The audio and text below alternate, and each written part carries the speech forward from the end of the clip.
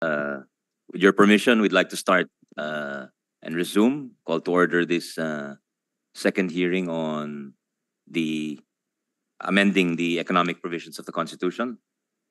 Uh, we'd like to acknowledge the presence of our colleagues, uh, Senator Grace Poe, the chair of the Senate Committees on Public Services and Economic Affairs. Good morning, ma'am.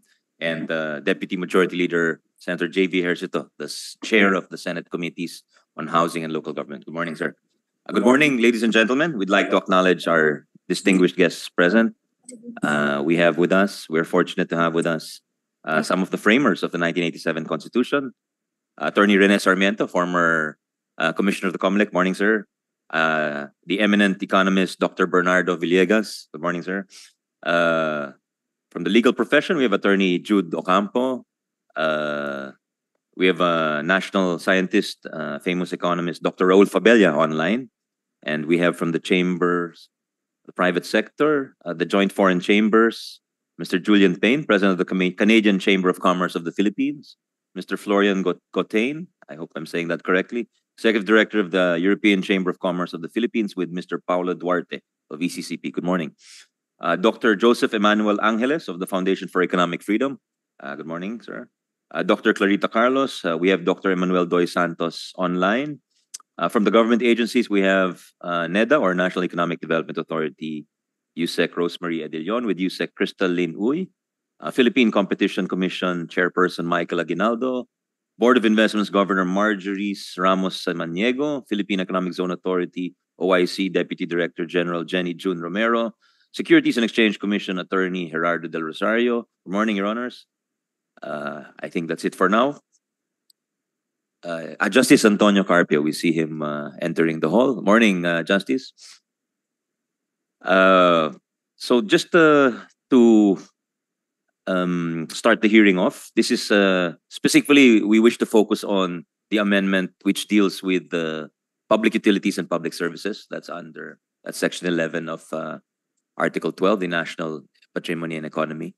And as we know, there was a law passed and sponsored by our colleague Senator Grace Poe and co-sponsored by Senator Franklin Drilon, which was approved last March 21, 2022, uh, where a public utility was clearly defined and distinguished from a public service, and the constitutional 60-40 foreign equity limitation was stated to apply to the following public utilities: distribution and transmission of electricity, petroleum and petroleum products pipeline transmission systems, water pipelines, distribution systems, and wastewater pipeline systems, seaports, public utility vehicles. And for 100% foreign ownership uh, to be allowed, uh, including airports, railways, expressways, telecommunications, domestic shipping, subways, tollways. Uh, mention of critical infrastructure where foreign nationals were not allowed, will not be allowed to own more than 50% of capital unless there is reciprocity accorded in for in their respective countries to Filipino nationals. And the give the president was given the power to reclassify a public service as a pas- public utility, uh, among others other powers given to the president. But I think uh, the best person to speak on that is our colleague who sponsored the law uh, in 2022, Senator Grace Poe. Ma'am, you have the floor. Thank you, Mr. Chair. I would like to thank our guests for being here today, also to clarify the issue. Kailangan ba natin ng chacha para sabihin that we are open for business? Sabi nila sarado ang ating ekonomiya. Pero ang totoo, bukas naman talaga tayo sa foreign investors. We have made great strides in the past years liberalizing our economy without compromising our national security or leaving behind Filipino businesses. Would amending the public utilities provision in our constitution open the economy or open a can of worms? Mahalagang mailatag sa diskusyon ang mga naging debate at deliberasyon ng Amended Public Service Act or PSA sa mga sektor na bukas sa kontrol ng dayuhan. We did this to encourage new players in sectors like airports, railways, expressways, and telecommunications. The idea was more competition means better services at better prices. All in all, a win for the Filipino consumers. Without changing the Constitution, and guided by the long line of cases decided by the Supreme Court as to what pub- public utilities really are. We carved out public utilities which will remain covered by the 60% Filipino ownership requirement from public services that were opened up by the PSA to full foreign investments. This is a repeat performance of what we did with EPIRA decades ago, where we carved out power generation from public utility. Hindi na po bago ito. Among those we retained under public utilities are industries known as natural monopolies or yung mga industriyang mas mura at cost-effective kung mag-isa lang ang service provider. These are various distribution, transmission, and pipeline systems carrying essentials such as electricity, water, and petroleum. Because of the nature of these natural monopolies, we needed to ensure the security and supply of these essential utilities. Sigur, sig, siniguro natin na Pilipino pa rin ang may control sa mga ito at kailanman ay hindi makokontrol ng mga dayuhan. Ensuring seaports under Filipino ownership and control was also a matter of economic and national security. As an archipelago, seaports are the gateways for large-scale transport of people and cargo. First line of defense natin ang seaports laban sa smuggling, piracy, at sa kahit anong banta at seguridad sa ating teritoryo. Panghuli, siniguro natin na Pilipino pa rin ang may control sa tradisyonal at dimak dimakinang pampasaherong dimak uh, dimakinang pampasaherong sasakyan para maprotektahan ang ating mga super lalo na ngayon hindi pa maayos ang PUV modernization program. With PSA, we protected the essentials while opening up others to much needed investments. Una na dito ang telecommunications na talagang nangangailangan ng mas pinalawig na kompetisyon para gumanda ang serbisyo at bumaba ang presyo. Through the PSA, we welcomed Starlink to come in and breathe new life to the industry Actually, yan ang unang-unang permit na binigyan ng National Telecommunications Company um, Commission nung pinasa natin ang PSA. Starlink was 0001. At sa ngayon, ang Starlink ang nagbibigay ng signal sa mga unserved at underserved areas. Pati dun sa mga bases natin sa Pag-asa Island, sila ay dumidepende sa Starlink dahil hindi kaya ng mga local telecoms natin.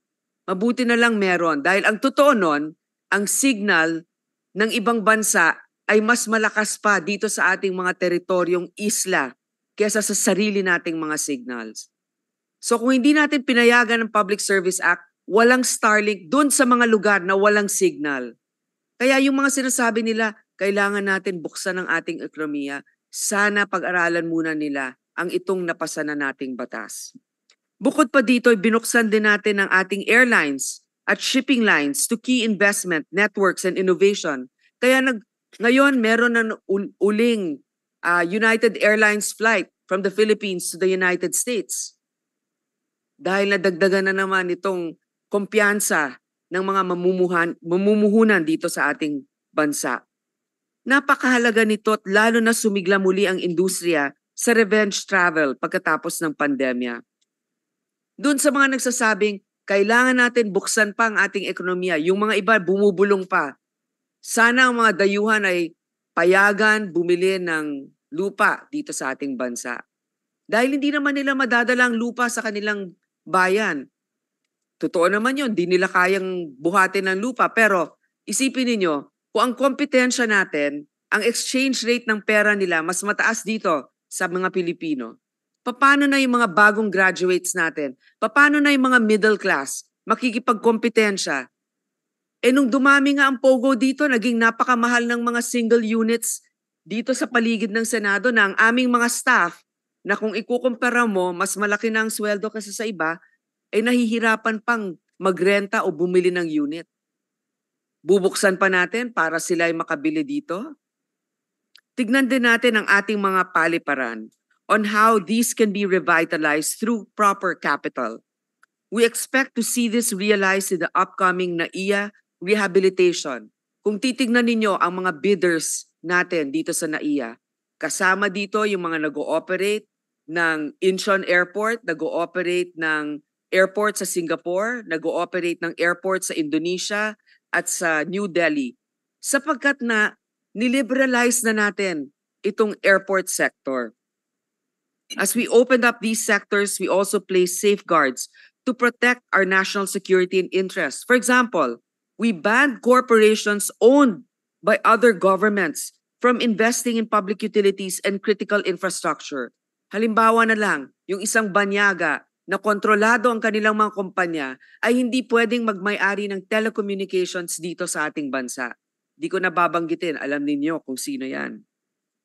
Um, nalagay din dito na tayo ay may reciprocity requirements for critical industries para patas ang kalakaran. Halimbawa, dito sa Pilipinas, pinapayagan natin 100% ownership ng telecommunications. Pero sa ibang bansa na gusto mag-invest dito, hindi naman nila tayo pinapayagan, hindi din natin sila papayagan dito. Diba? Para meron din tayong proteksyon para sa atin. More importantly, binigyan natin ng kapangyarihan ng ating presidente na isuspend o pagbawalan ang kahit na anong transaksyon or investment na magbibigay control sa dayuhan sa isang public service kung ito ay may banta sa ating national security. So kung meron tayong isang bansa na pinagdududahan, kahit na sabihin natin bukas ang ating ekonomiya, pwede nating sabihin, sorry, kayo, hindi namin, wala, kayong, wala kaming kumpiyansa sa inyo. Alongside PSA, we, we are positioned to attract foreign investments through the amended Foreign Investments Act and the Retail Trade Liberalization Act. The amended IRR of the Re- Renewable Energy Act now allows up to 100% foreign investments in renewable energy resources. Filipino companies have partnered with foreign investors for the Mabini Wind Power Project in Batangas and solar power projects in the Pampanga Ecozone. While new investors are coming in, we have yet to see the full benefits of these laws. Sa makatuwid, bukas na ang ating ekonomiya. We have done so, as said by our esteemed statesman, former Senator Frank Drilon, without violating or amending the Constitution. Hindi natin kinailangan mag-con-con, con-as, o peking initiative. Look at the industries we carved out. Power, water, seaports, petrol, PUVs. These are the remaining public utilities in the country. Yung Filipino ownership, critical for these sectors. Kung oo, bakit natin bubuksan sa kontrol ng dayuhan ang mga ito?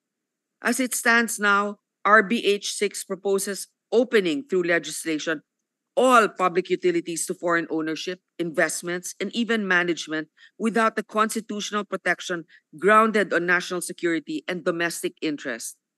Hindi lang ito usapin ng pagpasok ng foreign capital at businesses. Tignan din natin ang magiging epekto. Pwedeng tanggalin sa mga Pilipino ang control sa lahat ng sektor na nagbibigay serbisyo sa publiko.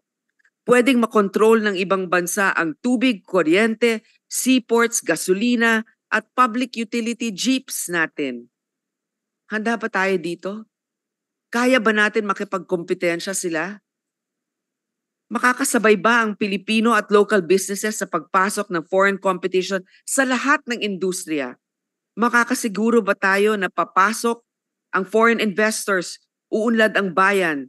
These are the questions needed to be answered Nasa pag-amyenda ba ng konstitusyon o palagi na nating sinasabi, nasa pagpapalakad ng ating mga ahensya, pagbawas ng korupsyon kung hindi man tanggalin ng todo-todo, at paglimita ng bürokrasya. Amending the Public Service Act took several congresses and decades of data gathering and study, countless hours of debates, interpellations, amendments, and discussions were poured in to craft just one particular carving out in our Constitution. Talagang pinag-aralan natin ang pangangailangan at epekto ng pagbukas ng bawat sektor. Kung dumaan sa butas ng karayom ang 86-year-old Public Service Act, mas lalong kailangan nating masunod, masuyod, ang pag-amyenda ng ating 37-year-old na saligang batas. Kaya maraming salamat sa inyong pagdalo ngayon para liwanagin ang ang ating diskusyon ngayon at sa ating chairman sa pagpayag na magbigay ako ng ah, pangbukas para dito sa ating pag, ah, diskusyon ngayong araw. Salamat po. Thank you very much, uh, Senator Poe, for expounding on the law she sponsored, the public services, uh, the amendments to the Public Services Act, which are very relevant to today's discussions. Uh, we'd like to acknowledge also the Deputy Minority Leader, the Chair of the Senate Committee on Women and Children, Senator Risa Hontiveros. Good morning, ma'am. As well as other uh, guests who have just arrived. Uh, Department of Finance Undersecretary Bayani Agabin. Morning, sir. DTI Undersecretary Fita Aldaba. Morning, ma'am. Uh, from the Australia New Zealand Chamber of Commerce, Kimi Sui Duar. Morning. I hope I uh, said that correctly. DICT uh, Assistant Secretary Renato Paraiso. Morning, sir. Uh, I think that's it. Uh, so we'd like to turn it over to our colleagues, uh, Senator JV, if you have any, uh, Senator Risa, uh, any opening remarks before we turn it over to our guests, please. Yes, thank you, Chair, and uh, salamat Vince and uh, JV. Ah, magandang umaga po muli sa ating lahat. Maiksi lang po dahil pagpapatuloy lang ng hearing, pero siguro magbibigay na ako ng preview ng aking mga concerns. Ayon mismo sa ilang resource persons sa huling pagdinig, Chacha is divisive and is not worth it. And I agree with them. Pero gusto ko din siya sa atin yung sinabi ng isang resource person na the patrimony provisions in our constitution as a business model are passé. Laos na ba talaga ang ating saligang batas na nangangalaga sa pang-Pilipinong likas at gawang yaman? Ngayon pong araw, pag-uusapan natin ang public utilities. Alam niyo po, ni-review ko ang mga discussion noong Public Services Act na katatalakay din ni Sen. Grace, and I saw the great care this Senate took when we identified the critical utilities that would still be under the protective mantle of the constitutional provisions on foreign ownership. Sa amyenda natin na ito, pati po ang critical utilities natin eh fair game na for future Congresses to give away. Yes, even to state-owned foreign companies which pose grave national security risks. Hindi ba't nagalit tayo noon nung lumabas na ang mga manual ng NGCP na may hawak sa ating state grid ay nakasulat sa Mandarin at hindi mabasa ng ating Pilipinong inhinyero? I'm also interested to find out if the problem really is the lack of foreign investments or our chronic failure to address anti-competitive monopolistic behavior. Imbes na basagin ng charter change ang monopolyo ng mga dominant domestic companies, papalitan lang ba sila ng mga dayuhang kumpanya? Ganun din, baka mas malala pa. Baka ang mangyari, tatanggalin natin ang state grid kay C, pero ibibigay naman kay C. Sa gitna ng malalang alitan sa West Philippine Sea. Naalala ko ang mga ito at naalala ko ang aking tito, the late nationalist economist Alejandro Lichauco, na sinabing imposible ang pag-unlad ng bansa kung kontrolado ng dayuhan ang ekonomiya na bumubuhay dito. A nation that is poor, dependent, exploited, and oppressed by others, he warned, quote, can only have a population of farmers and workers similarly poor, dependent, exploited, and oppressed, closed quote. Salamat po, Mr. Chair, and I'm ready to engage later. Yes, thank you, Senator Risa. Senator JV.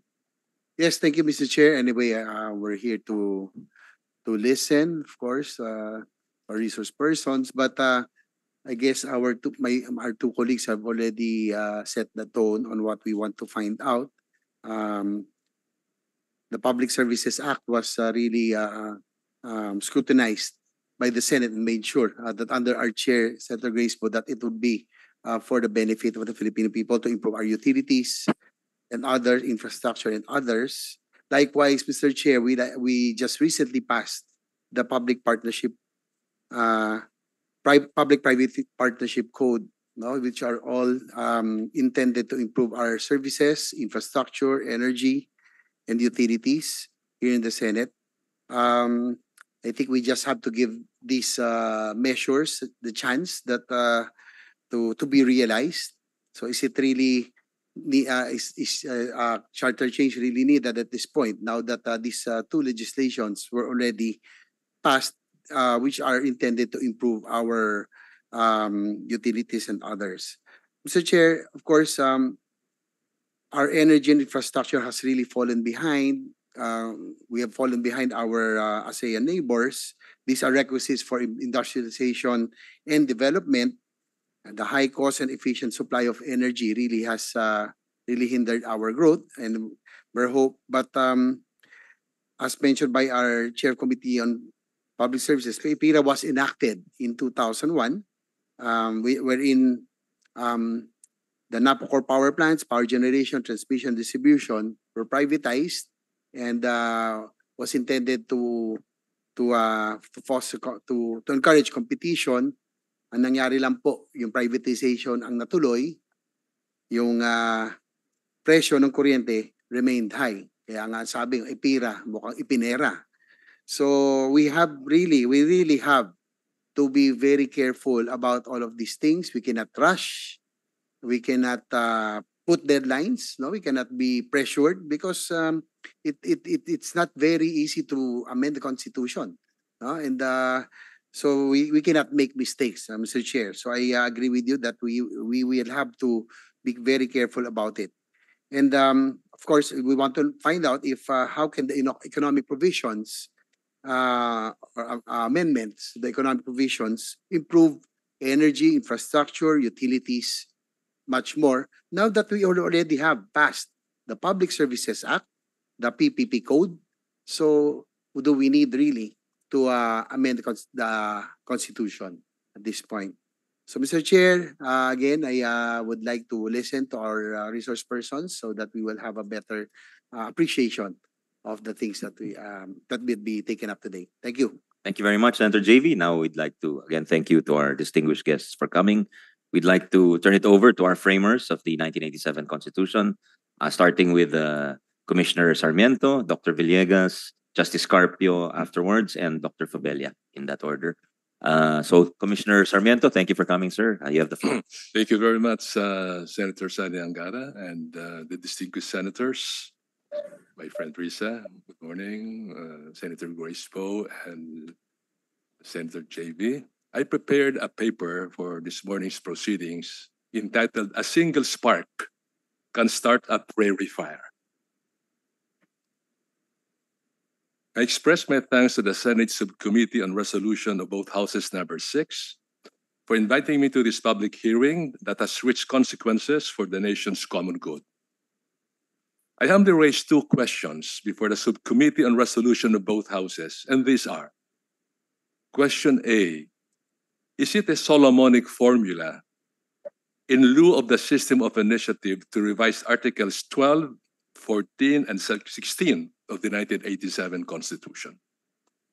And letter B, should the Senate and the House of Representatives assemble separately and vote separately as they, through RBH number 6, proposed revisions to Articles 12, 14, and 16 of the 87 Constitution? Now, my answers to uh, the two questions, starting with letter A, Solomonic formula. One, although RBH number six has put a stop to the Chacha train via initiative, and the same RBH number six has caused many to ponder its implications and impact. I have in my heart of hearts respectful reservations about its wisdom. The first, that revising the economic provisions will not be the Midas touch that will unlock the economic prospects and promise of the Philippines. Much has been written and much has been said in and out of the Senate, that what are needed to charm foreign investors to our country are timely and significant alternatives, both legislative and executive initiatives, to address a politicized bureaucracy, decline in the Philippines' score and the rule of law index, dismal level of reading comprehension of pupils, that places the Philippines among the poorest in learning in East Asia and the Pacific. Expensive electricity, slow internet, not enough seaports for big ships, and others. Next, moreover, and equally important, Your Honors, for the country's economy to soar high is to unlock the immense human potential and possibilities of Filipinos, their greatness, by further fleshing out the 26 social justice and human rights provisions in the 87 Constitution that start with, quote, the state shall.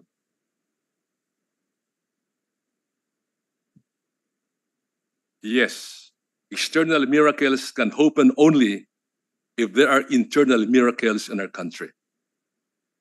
They both apply to nations and to individuals. Second, revising the economic provisions will be a spark that can start a prairie fire of succeeding amendments concerning political, judicial, social justice, and human rights provisions.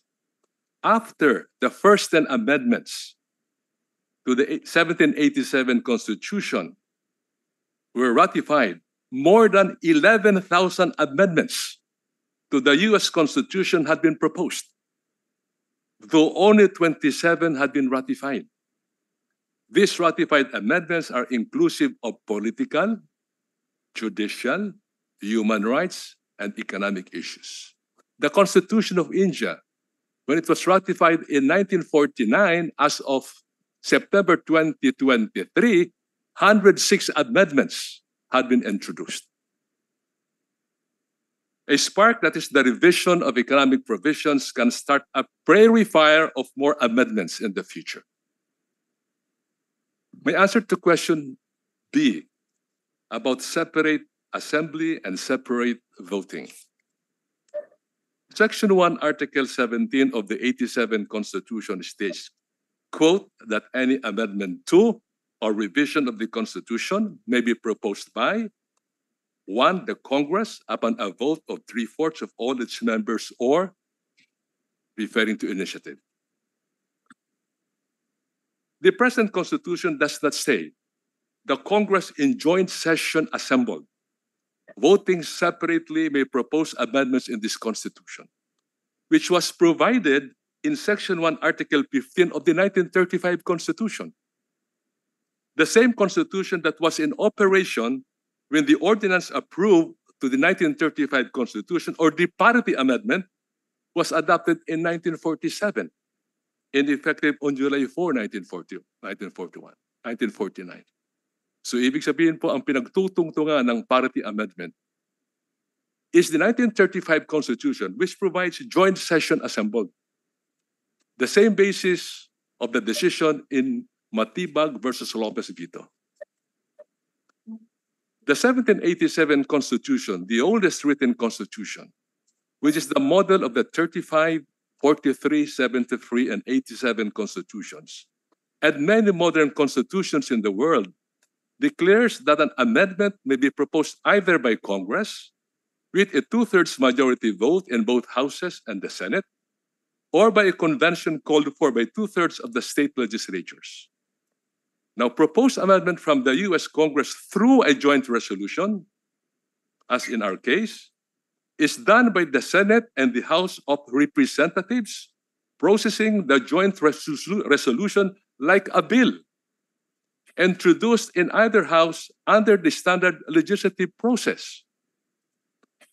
The only difference between a joint resolution and a bill is that the former, meaning to the joint resolution, once approved, shall not go to the president for approval or veto, but to the office of the Federal Register for processing and publication, and then forwarded to the governor of his state for submission to state legislatures.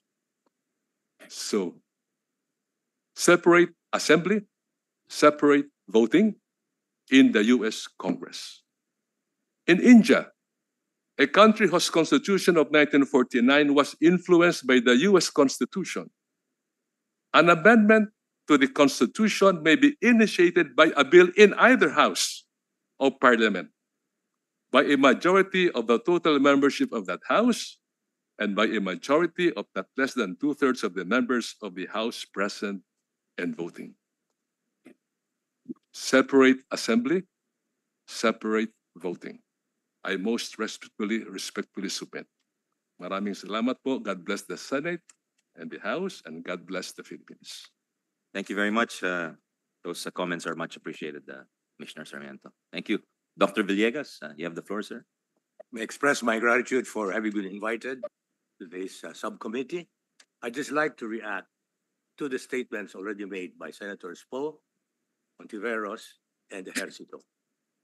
First of all, I fully support the statement of Senator Poe that we do not need to amend the Constitution, especially as regards media, advertising, education, and ownership of land at this stage of our development. Right now, we should have a single-minded focus on the scandal that we have 21% of our population living in dehumanizing poverty. That's a scandal because all of our neighbors in Southeast Asia have single-digit poverty incidents. And how do we approach this problem? As I see it, there are two major challenges to this administration. And I'm glad that the focus at least in theory, is being made. First, agricultural productivity, food security, to really address the decades old neglect of agriculture and the countryside. And I have a target for this administration. It's good news that for the first time in 2023, in all four quarters, agriculture production was not negative. Actually, that was not the case for many years before the present administration. You would find a lot of quarters before this with agriculture actually decline. If you take a look at the most recent GNP figures, in all quarters there was positive, and the average for the whole year was a 1.2. My target for this administration is by the second half of the administration, they must increase agricultural production at least by 3% a year, which is what our neighbors, Vietnam and Thailand, have been achieving over the last 10 years. I'm sure you know that agriculture is very difficult to grow faster than 3%. You know, calamities, diseases, and so on and so forth. So it's not too much to ask this present administration.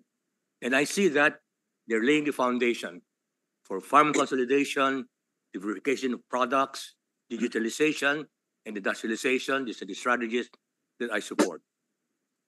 Now, they will not in any way change the potential of growth, which this present administration has to achieve at least 8% before their administration is through. As you very well know, NEDA has always been talking about as high as 8%.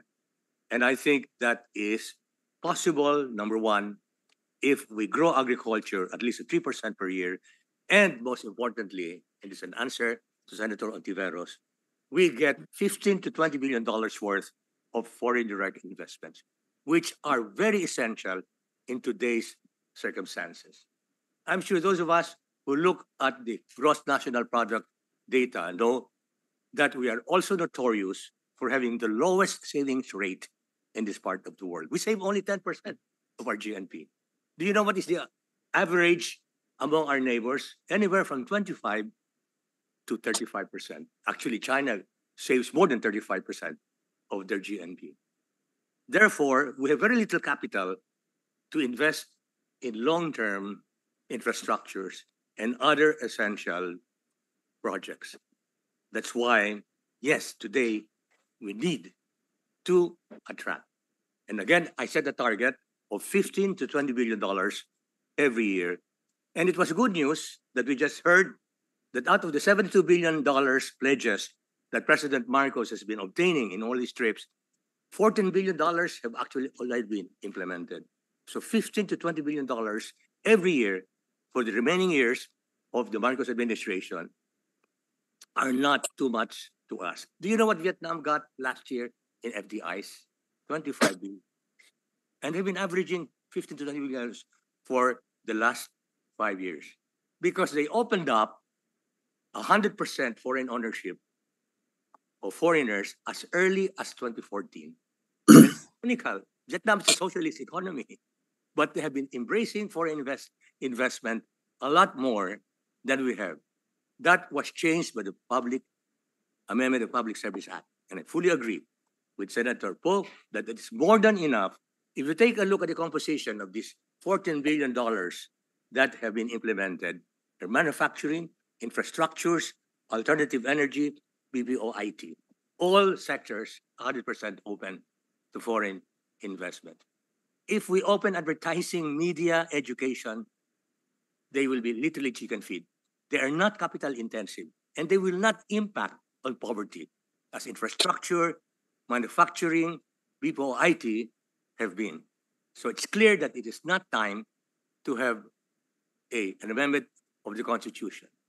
Finally, let me say that from all the road shows that I've been conducting over the years, and that's what I've been doing most of the time, going with private sector people, with tra- trade chambers, going to Spain, Japan, and others.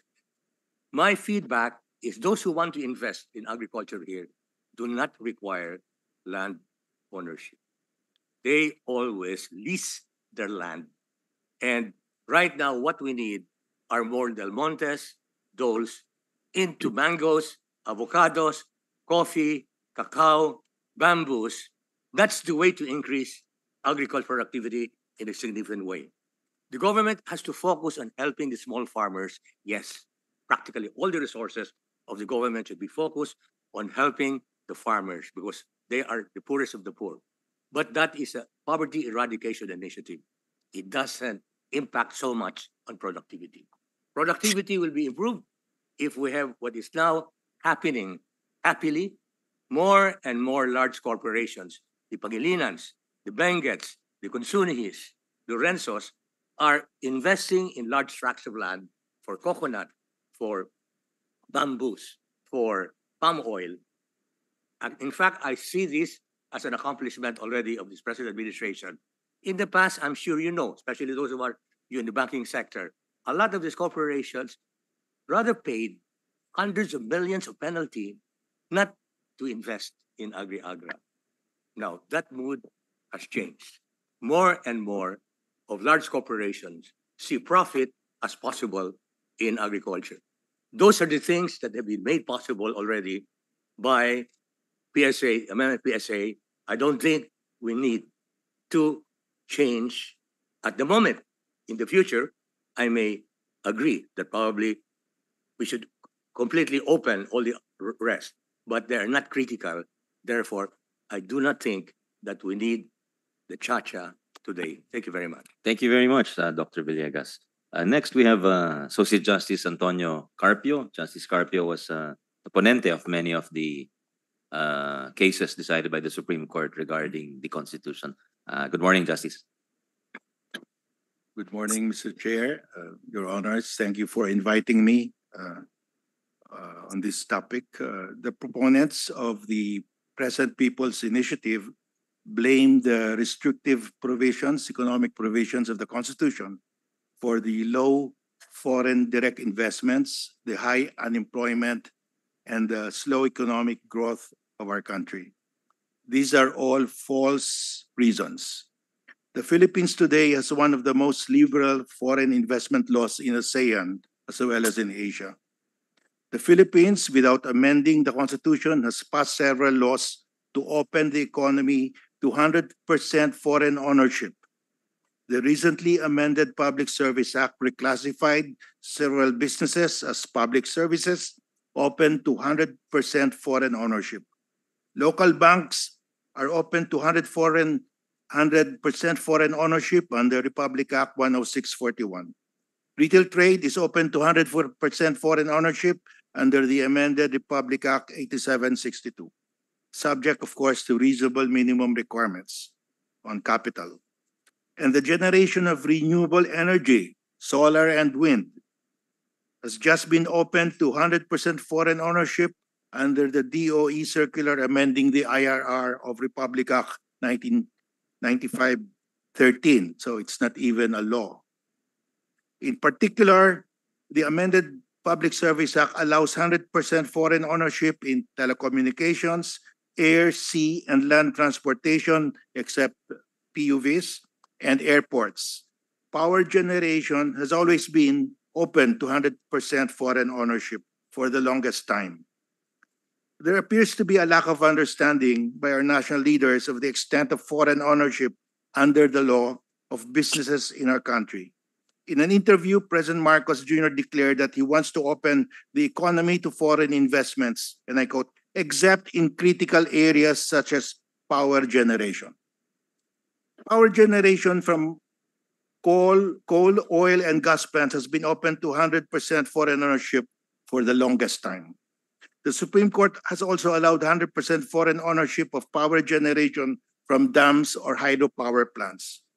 President Marcos Jr.'s own Department of Justice and Department of Energy have recently allowed, through a mere implementing guideline, 100% foreign ownership of power generation from solar and wind, which is as natural resources are under the Constitution owned by the state. Let us compare the foreign investment laws of the Philippines, China, and Vietnam on telecommunications.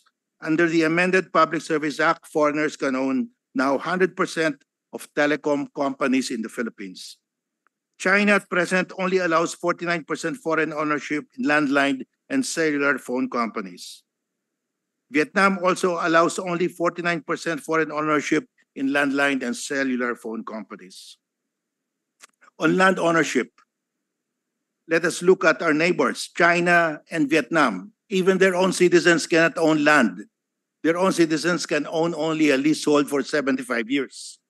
In Thailand, foreigners cannot own land, but there is a small exception, up to 100, 1,600 uh, square meters, but only if there is a treaty with another country allowing Thai, Thai people to buy land in that other country. And there is no such treaty at present. So in Thailand, foreigners cannot own land. In Indonesia, foreigners cannot own land. They can only acquire a leasehold. So we are better because we allow a corporation 40% owned by foreigners to own land. And frankly, land ownership is not, is not a requirement for investors to invest in a country if you are a manager, you're sent to the Philippines and you recommend to your board in New York that you should buy the land on which your plant is going to be built, you will be fired because you don't have to spend that much to use the land. You need only 25 year lease and you don't want more than 25 year lease because in 25 years the labor situation might change. The labor in the Philippines could be more expensive than the next country. So they don't want to buy land actually, foreign investors who are engaged in manufacturing.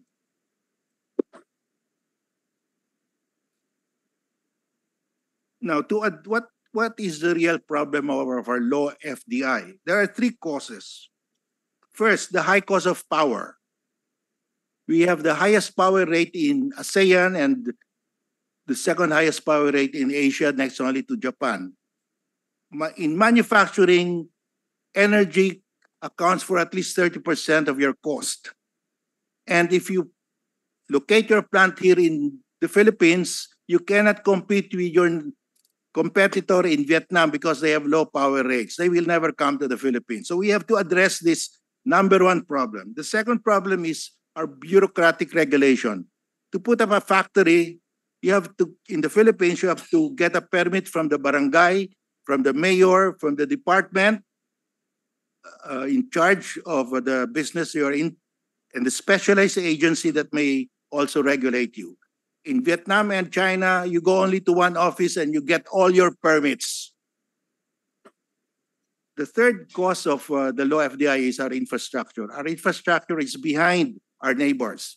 Our airports, seaports, land transportation, trans sea transportation. We have to address the real causes. The real cause is not the Constitution. Nobody cares.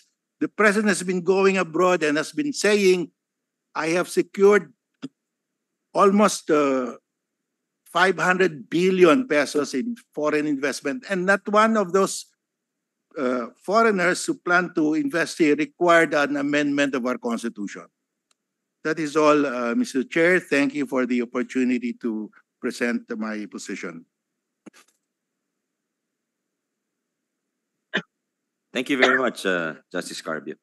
Uh, after Dr. Fabella, we'll go to Dr. Braid, who is uh, online, also a framer of the 87 Constitution, and then Chairman Aguinaldo, uh, Dr. Carlos, and some of our friends from the foreign chambers. So uh, let's now hear from uh, Dr. Fabella, national scientist and eminent economist. He's online. Dr. Fabella, can you hear us? I can hear you. Good morning, sir. Can you hear me? I think you're on mute, sir. Good morning. Good morning, No, sir. no, I'm not muted. Good morning, everyone. I thank uh, the subcommittee on uh, resolution of both houses number six uh, for this uh, rare invitation. I'd like to uh, first uh, state that I was never a member of the Constitutional Convention in 19 uh, in 1987 there thereabouts and so i am kind of misplaced but i still uh, i'm grateful for the for the honor. Yes i am uh, in favor of lifting the constitutional restrictions on foreign ownership. Section 11 article 12 and i of course prefer uh, the quick, as quick a cha-cha process as possible. I think that is separate assembly and separate uh, voting. My take on the development experience of nations is that all progress boils down to investment, specifically the share of income that nations that the nation sets aside for investment, or what is called the investment rate. Countries that invest less will over time eat the dust of countries that invest more. And the investment rate depends on the rules binding on investors. The Philippine investment rate is traditionally lowest among the major ASEAN countries. For example, in 2022, uh, our investment rate was 22.4% of GDP. Vietnam had 33, Thailand had 27.9, and Indonesia had 29%. We, by contrast, by 20, but 2022 was a typical year um, over the last four decades. The, uh, the uh, People's Republic of China, as has been mentioned in some years past, had investment rate hovering around 50%. By contrast, we as a nation have privileged consumption over investment in our life. Government has been the cheerleader in our national consumption binge. Our government capital outlay was less than 5% of GDP for most of those four decades. While it was between 6 to 10% of GDP among our ASEAN neighbors, and of course higher in China. We have, in other words, an anti investment ecology. Three years after create number two, our investment rate hardly breaches 25%. The task before this generation and this administration is to reverse this downward march to the bottom of the investment ladder. There are many reasons why our investment rate is abysmal. We have closed many economic sectors from investment, both local and foreign. Agriculture was closed for all that time from large private investors because of the property rights shambles stemming from the land reform program. mining and forestry uh, were from time to time forbidden destination for domestic, private, and foreign investments. The 6 billion Tampakan gold and copper mine project is still in limbo 40 years later after uh, it was initiated. The constitutional restriction on foreign ownership adds to these anti-investment ramparts, which together signal to the world our national fundamental discomfort with investors, either foreign or local. And when we opened up to foreign investment, we chose the foreign investment where the Constitution was silent. In 19, the 1990s, we opened the capital account ostensibly to attract foreign investment, but all we got were the dregs among the investors. I mean, portfolio investment, or more pejoratively called vulture capital. Foreign investment in financial assets and equities that are here today, gone tomorrow after they have cleaned up without any appreciable impact on employment and output. We need direct foreign investment, especially in manufacturing and infrastructure, which create long-term employment and income, not portfolio investment. So the lifting of the restrictive rules will not itself reverse the investment downward trend, investment rate downward trend. We will still need better rule of law, lower power costs, better logistics infrastructure, less signatures for investors as part of our pro investment ecology. One area where the lifting of these restrictions can improve things is in the quality of foreign investors. Now, let me let me uh, explain that a little bit. I attach it to the what I call the flavors of credible commitment. We know from the economics of contracts that when you have a deficit in reputation for performance, you break the spell by offering what is known as credible commitment. Those are facts on the ground that are costly to take back.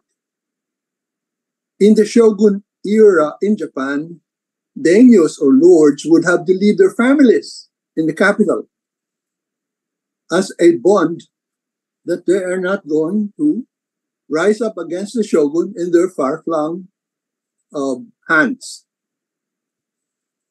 newbies in a new car, a new car marketing offer longer repair or replacement guarantees to overcome reluctance with plunging into the unknown. Now, I, I recognize the, the uh, correctness of what Senator Grace and Supreme Court Carpio has told us. We have chipped away at some deleterious hurdles through some laws or amendments thereof, such as PSA and RTL. But laws are easy to reverse. The more credible signal of our commitment to be open is the lifting of the constitutional limits, since constitutional provisions are more difficult to change. We have been talking about changing the constitution uh, for over 40 years. Let me recall the worldwide uh, excitement or to do over the People's Republic of China's amending its constitution to legalize legalize private property. So the more credible the commitment, the better for investors. Urging the constitution of restrictions on foreign ownership can therefore raise the pool of and improve the quality of foreign investment, especially from those jurisdictions which have very strong uh, rules against uh, uh, corruption, against uh, contracting uh, in corrupt, corrupt practices. And it should lift the age-old impression that the Philippines is at heart suspicious of foreign investment. Now, let me return to Article 12, Section 11, uh, that is um, being discussed. This is a policy instrument, not a value, it's a policy instrument uh, that framers thought may advance national welfare. The unspoken premise that native born capitalists are better stewards of national patrimony than foreigners. But I uh, propose that this is an article of faith. This is not a demonstrated fact. So we can debate how much DFI we lost as a consequence of Section 11, Article 1. What is not debatable to me is how much it has cost us in one particular case. Consider the Terminal 3 Philippine International uh, International Air Terminals Company Incorporated, that's PIATCO scandal. The construction of Terminal 3 uh, attracted foreign interests, among them, of course, Fraport. But the ownership restriction on foreign ownership means that the foreign interest cannot own and run the facility. It needed a local partner to pose as majority owner. Some say a dummy. It found one and started constructing. But the local partner was embroiled in corruption cases, leading to lawsuits that caused completed terminal completed Terminal 3 in 2002 to be mothballed for a decade since its delivery.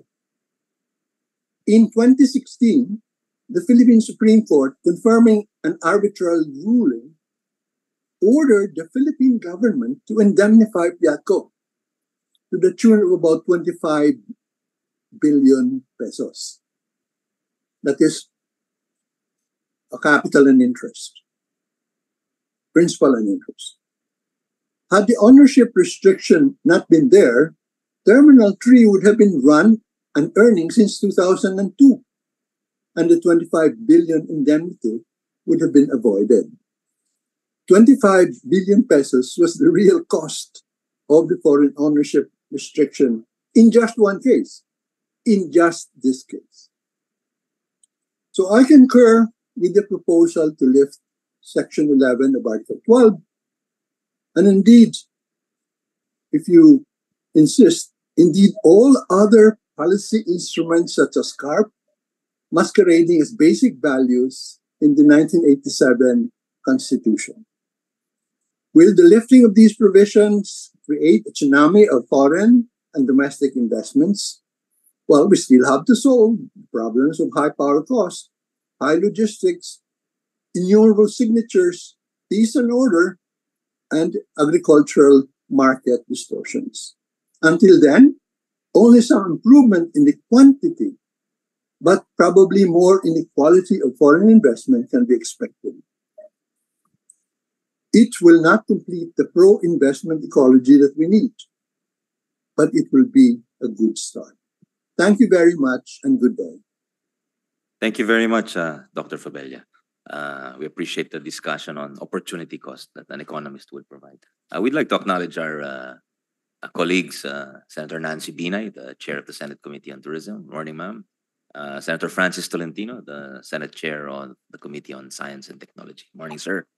Next, we'll have another framer of the uh, 1987 Constitutional Commission, and Justice, I, I forgot. Also the chair of Justice, Senator Tolentino.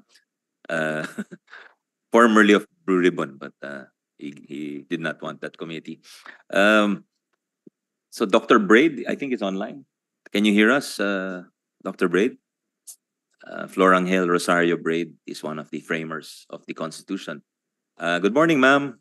Uh, can you hear us? Narinig niyo po kami?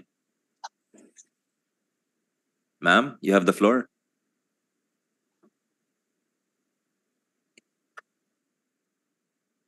Ma'am.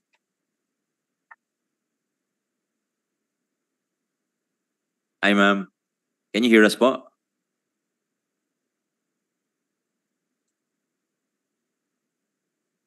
Maybe we'll ask the staff to uh, liaise with her and we'll get back to her. We'll hear from Chairman Mike Aguinaldo. Uh, morning, sir. Thank you for coming. Eh, Good morning. I'm, I'm on Zoom. Good yes, ma'am. Go ahead. Go ahead. Thank you, Chairman. Chairman. Yeah. Go Uh, ahead thank- Thank you for the privilege of sharing some memorable moments in history 38 years ago. Our past two colleagues have ably discussed the, the present predicament, but I shall bring you back to the drafting of the Constitution, of specifically Section 11 of Article 2. As we know, uh, I, I was asked to provide this update from these inputs from the past, you know, and that where the the section 11 dealt primarily with just water, energy, you know, but not telecommunication. So, with the lobby of some of our telecommunication companies, we added telecommunications to public utilities. Um, the it in this, as we know, the, the section in uh, ensures that 60-40 ratio of ownership be given, not 60 in favor of Filipino citizens. No? But as we found out later, many of the current telecom operators had violated the agreement. No? Specifically, let me just cite PLDT was summoned because of, I think, 63% ownership, foreign ownership, you know, where the voting rights were given to foreigners and only about 37 to Filipino citizens. So this is anomalous, and so um, we hope that such practice will not be will not continue. No? The amendment uh, to this section was also to include all executives and managing officers shall be citizens of the country. Um, we realize that maybe this phrase did not mean much in terms of voting rights, but it was a recognition of, it, well, past injustices, and also that many of the companies had brought in their own managing executives to the country. So this, the, I think the the question I would like to address is why why the acceptance. I, the past two speakers, I, I I think we support each other. You know, uh, that we retain the provision on on chapter eleven on chapter twelve on on the um, on the 60-40 sharing. no? Even even a little more in favor of Filipino citizens. No? Uh, why? Because the twin concept of national economy is patrimony. And if we take out uh, the rights of our citizens, you know, we lose our patrimony. So this is the reason why I think, and it's been emphasized in this article that the, oh, the, the concept of ensuring that our economy is owned by Filipinos and, and that the exploration and development shall be undertaken under the supervision and control of the state. And that the state should only should undertake joint ventures only with Filipino citizens or companies at least 60% of which are of capital of the capital of which are owned by our citizens.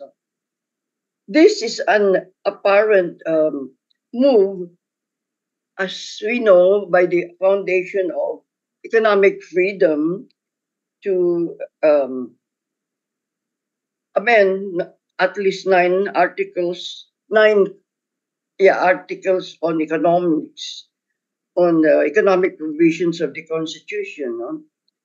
But I trust that we not only retain Section 11, uh, even the um, specifically referring to the phrase that states encourage equity participation in public enterprises by the general public. And that participation of foreign investors in the growing economy of any utility an enterprise shall be limited to their proportionate share of capital. And all managing and executive officers must be Filipinos. No? No, going back, going now to the present, no? uh, for to us, um, communication theorists and practitioners, we are alarmed by the fact that there's a lot of misinformation and disinformation and fake news, and it is therefore extremely important to the state to protect its integrity, security, and national sovereignty. Communication technology can be utilized for the common good, and it won't be possible unless you are vigilant.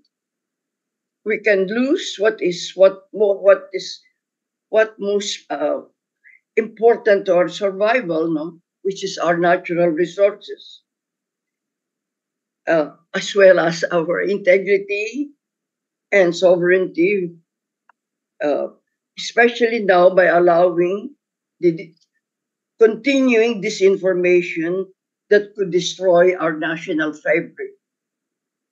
I will not delve much into the uh, importance of communication technology or the role of communication in in uh, creating this information, which is now probably the one of the worst travails of the country. You know? So let us not focus so much on the lack of uh, needed capital, uh, which will come about if we have been able, we are able to provide a more stable economic environment.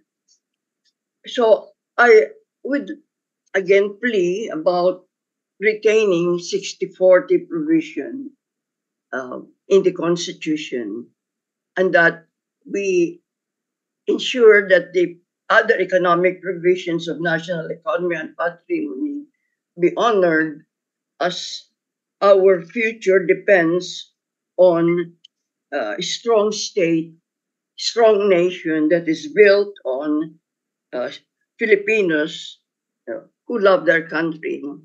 So thank you very much. Thank you very much, Dr. Braid. Uh, next, uh, Chairman Aguinaldo. Good morning, sir. Good morning, Your Honors.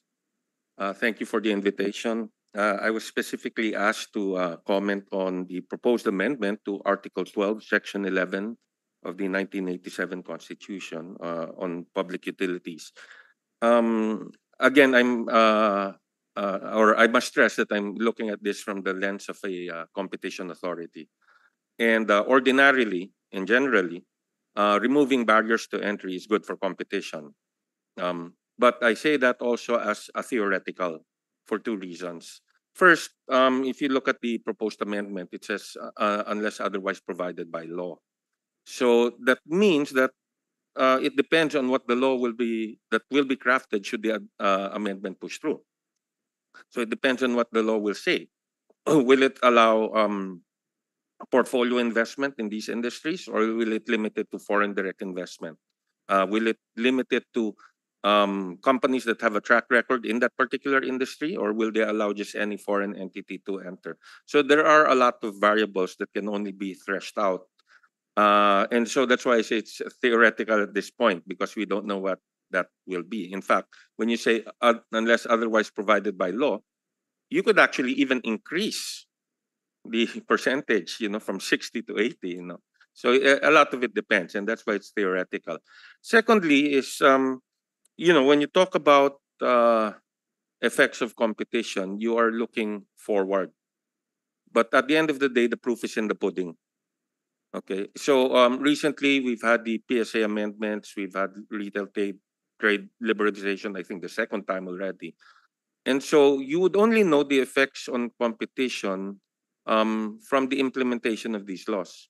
And I guess at this stage, it might be a bit too early, especially for the PSA since it's quite new. So that's why we would say in a theoretical level, um, yes, it would be good, but um, decisions are not based solely on competition principles. There are other principles that are involved, other things that you also have to look at. So I guess from a competition standpoint, in theory, yes, uh, it would be um, removing barriers to entry would be favorable to competition. Okay, thank you. Very much, uh, Chairman Aguinaldo. Now we'd like to hear from Dr. Carlos and after that, the Chambers of Commerce, uh, and then Dr. Angeles, Attorney Ocampo, Dr. Santos, and uh, Mr. Francisco, the President of BDO Capital. So, uh, Dr. Carlos, please. Yeah, thank you very much. Good morning, everyone. I was taking down notes uh, earlier as I uh, listened to Senator Poe and uh, Senator Hontiveros, and I'd like to address the issues that they have raised.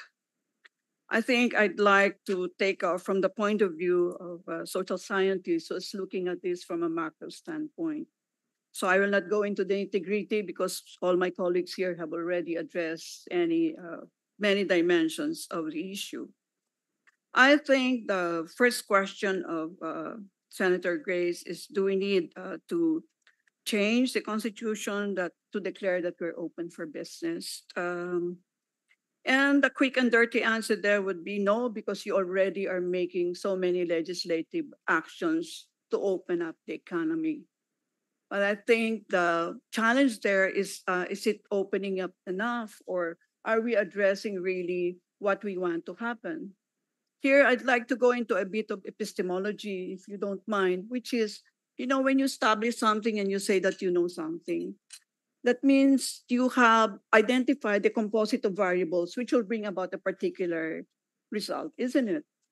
Now, here, as I listen to the very intelligent comments uh, around the table and uh, those who are joining us uh, in uh, virtually.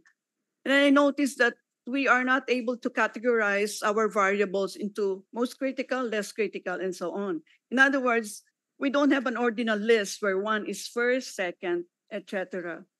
And that one, as uh, I agree with Dr. Fabella, cannot be an article of faith. It has to be empirically grounded.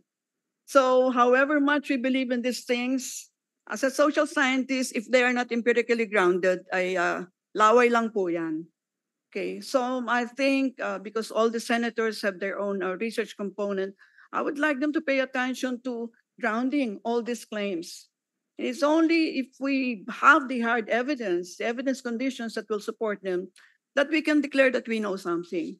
That's the reason why you will notice we're shooting here, there, and everywhere is because we're not able to categorize them into the most important, less important, etc. Okay, um, of course, remember I've been part of the cabinet for X number of months as National Security Advisor. One of the things I put together there uh, would be to present to our president in one cabinet meeting, I think it was late October or uh, early November, a national strategy.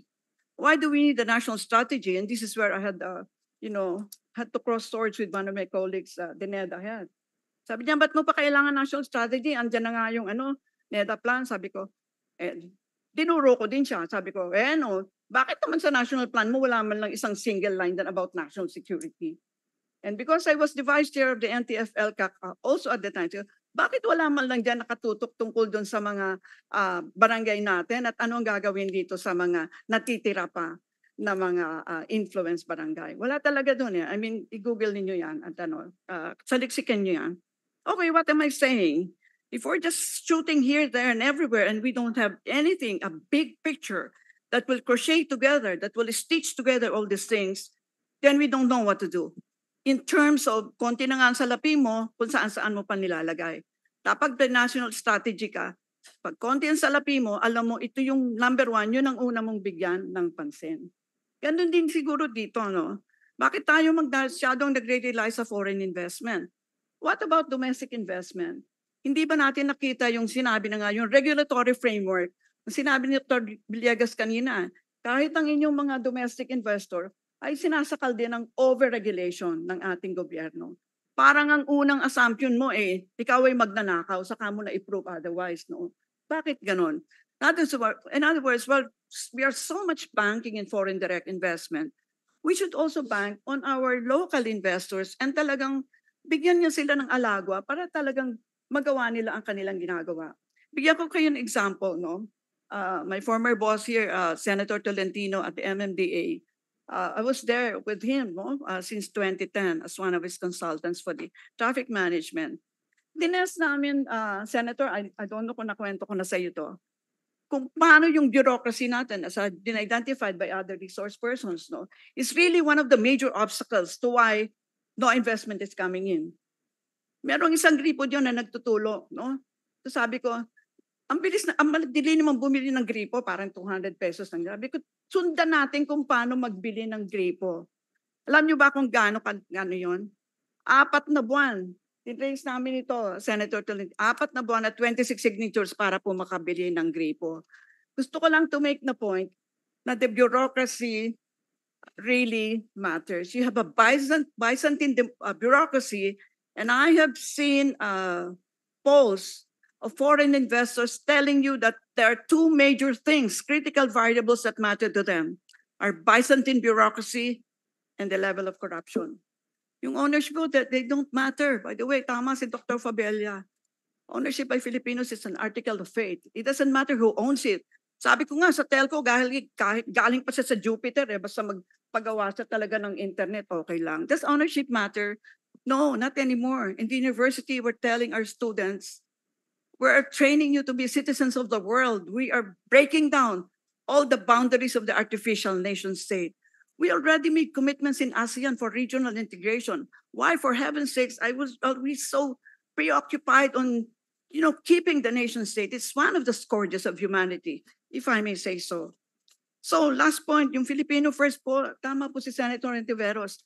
Pasay na po yan. It should be rendered obsolescent, no? Bakit Filipino first? Because once upon a time in the past, we tried to, um, you know, to divest ourselves of all the colonial uh, things na, na, na, uh, that chained us no, to the former colonial uh, rulers of our country. Wag na po tayong Filipino first. No one study I have seen thus far has demonstrated quite creditably that ownership by Filipinos work. I challenge anyone here around the table, the social scientists. Meron bang ganyan? Wala po. Ownership doesn't matter. no? But what we really want is, in fact, I had suggested in uh, uh, one of my papers that if our economic managers cannot, in fact, lower or eradicate the 21% of leaders na sinabi mo, no? na mga poor, aba mag-hire tayo po ng international group of economic managers. We pay them depending on the percentage of uh, increment that uh, they are going to contribute to GDP. I know this is an iconoclastic uh, viewpoint, but for God's sake, we have to be iconoclast now. You know, we are the fifth most mineralized countries in the world. We have millions of professionals. We should be embarrassed that we have 21% who are poor. Tama ba, Dr. Villegas? Tama, di ba? So I think, um, yeah, let me go back to the issue of a national strategy. I address this also to the military. Several times they have asked me to help them design their strategy for the Air Force, for the Philippine Marines, etc. Sabi ko, eh, saan ba kayo nakatukod yung strategy nyo? Meron bang National Defense Plan? O bungang isip nyo lang yan? Saan manggagaling yung National Defense Plan, Senator po? Hindi ba manggagaling yan sa national strategy? Debuho yan eh. It's a big, big picture. no? And um, siguro lastly, um, sorry sa Senator Angara, medyo na ata ako sa time ko. Uh, Senator Poe, you mentioned something about banning certain countries from ownership. And do I, uh, are you referring to China? Um, in the Public Service Act, any country that the president or the National Security Council views as a threat to us is actually eliminated from or banned from owning certain critical infrastructure, uh, telecommunications, for example, uh, I, I believe airports, etc. And also uh, countries that don't um, reciprocate or allow us also the same type of ownership in their country would not be allowed. That's what, those are some of the safeguards we put as a compromise to those who are a little bit uh, wary about uh, this uh, Public Service Act being open. Yeah, with all due respect, I agree with the reciprocity, but the first one I don't. Because if you have a strict regulatory framework, then it can be a to whom it may concern. So I think we should not ban XYZ, whichever country. So thank you very much. Mr. Chair. Thank you, Dr. Carlos. Uh, Senator Risa, yes? Salamat, Mr. Chair. Just a quick correction for the record. With all due respect, I certainly did not say that Filipino first is a passe uh, policy. In fact, One I of your believe, source persons, I stand corrected. thank you, ma'am. In fact, I believe that Filipino first is a positive and dynamic principle in uh, formulating and constantly updating our economic policy. And lastly, Mr. Chair, at this point, if uh, 60 to 100% ownership in Filipino hands doesn't matter anyway in the big picture, then let's keep that in Filipino hands and work on the real problems identified both by those opposed to and supportive of RBH 6. Thank you, Mr. Chair. Thank you, Senator Uh, Mr. Chair, just a quick comment. Yes, I would Risa. like to thank also Dr. Carlos for bringing up something that we haven't really discussed in our minds being focused on foreign direct investments. It's true, local businesses are also suffering. Uh, what we're trying to do is we're actually hunting in the zoo, like uh, the ones that uh, are are complying with the laws, paying taxes, are the ones being audited, uh, while the ones that are in the informal economy getting away with so much, uh, we don't focus our attention on. So, uh, thank you for bringing that up. Thank you, Senator Risa, Senator Poe. It's definitely we're not abandoning the Filipino first. In fact, Congress just passed the uh, Tatak Pinoy uh, strategy, which is an attempt at industrial policy, albeit uh, belated, somewhat belated for the region. No? Uh, Um, sponsored and uh, uh, authored by our chairman. Thank you for the uh, salamat sa patalastas. Thank you. Thank you. We'd like to Senator, just make a final comment. Um, as a social scientist, I'd like an article of faith to have empirical evidence. We cannot work on an article of faith. Filipino first policy should be rendered obsolescent. Thank you. Thank you for your opinion. Uh, we'd like to hear from Mr. Julian Payne, the president of the Canadian Chamber of Commerce, who, who's been our guest in the past for the CREATE law and the other investment laws. Uh, morning, sir. Uh, good morning, um, Mr. Chairman, honorable senators. Um, I'm going to speak on behalf of the Joint Foreign Chambers of Commerce.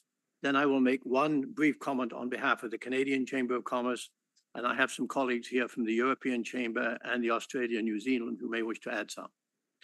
Um, first of all, we thank the subcommittee for inviting us to comment on this resolution. We're honored to respond to the committee. The Joint Foreign Chambers of Commerce of the Philippines is a business advocacy coalition. We know that.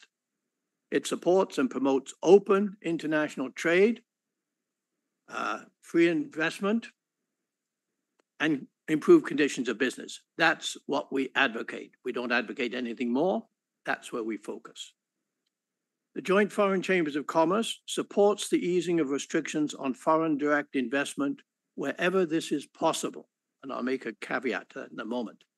We are of the opinion that the removal of economic restrictions would facilitate increased foreign direct investment in sectors where such investment is currently restricted.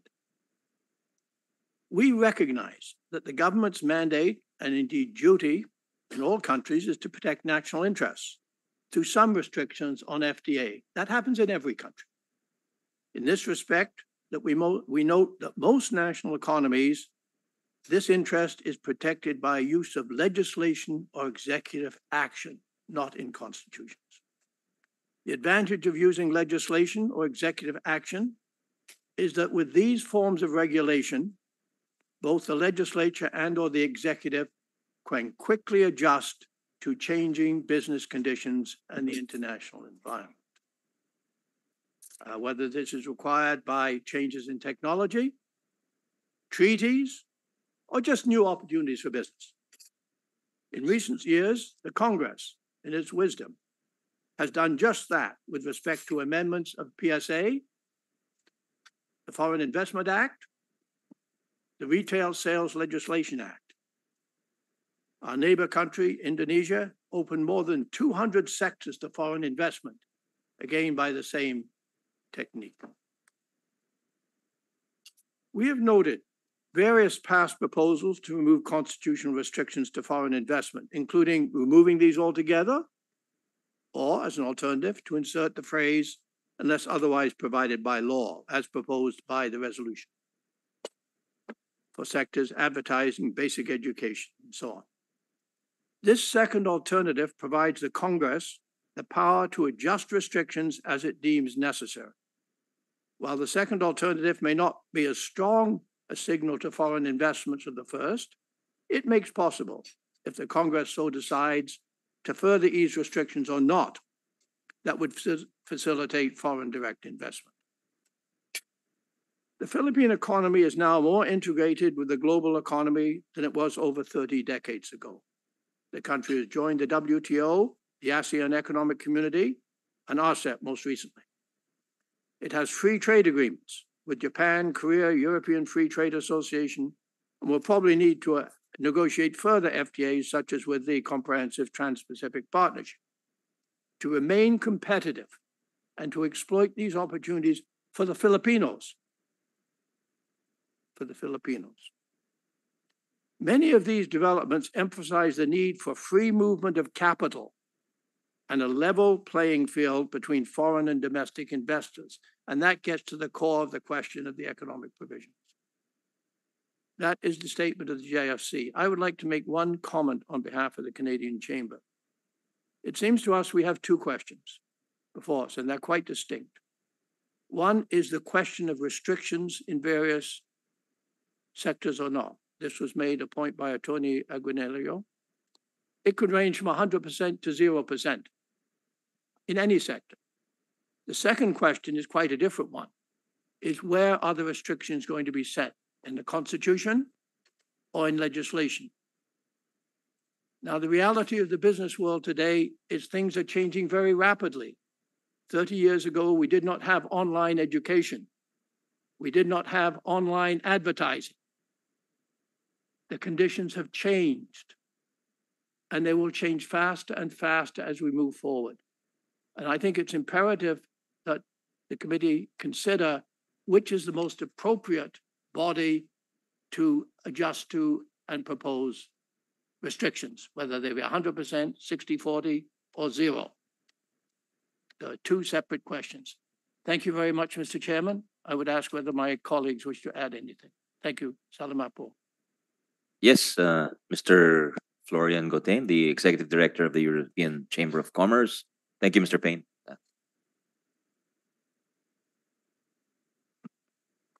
Yeah, Mr. Chairman, uh, we're really honored uh, to be here today, and uh, especially we feel privileged as foreigners uh, to speak here in front of uh, this committee. Uh, just to reiterate, basically, as European Chamber of Commerce, we fully support the statement that was just done by my colleague um, Julian Payne.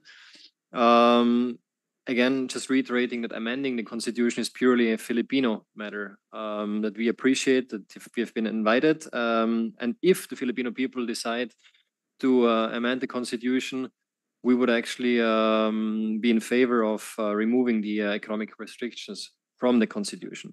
If you look at um, again, um, coming from uh, what uh, my colleague Mr. Bain said, if you look at recent um, uh, amendments to um, PSA, uh, to RTLA, FIA, but also the DOJ opinion on the implementing rules and regulations of the um, Renewable Energy Act, have really created a more conducive uh, business environment for foreign investors to come in.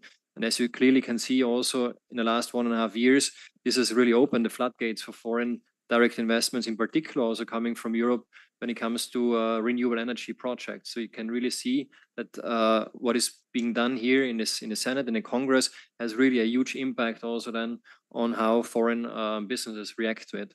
Um, if I think uh, it was earlier mentioned by uh, Dr. Villegas, um, this will have the same impact on education and advertising.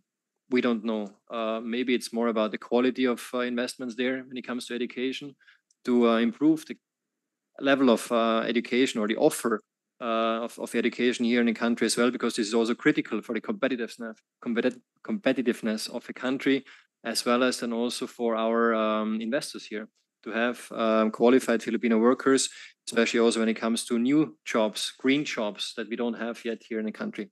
Thank you very much, uh, Mr. Chairman. Mr. Chair, just as a follow-up, thank you, Mr. Gottein. Yes, uh, Senator Poe? with the foreign chambers, when we passed the PSA, I believe uh, you were quite jubilant about it, uh, right? Um, what's the feedback among uh, in your community when we passed the PSA?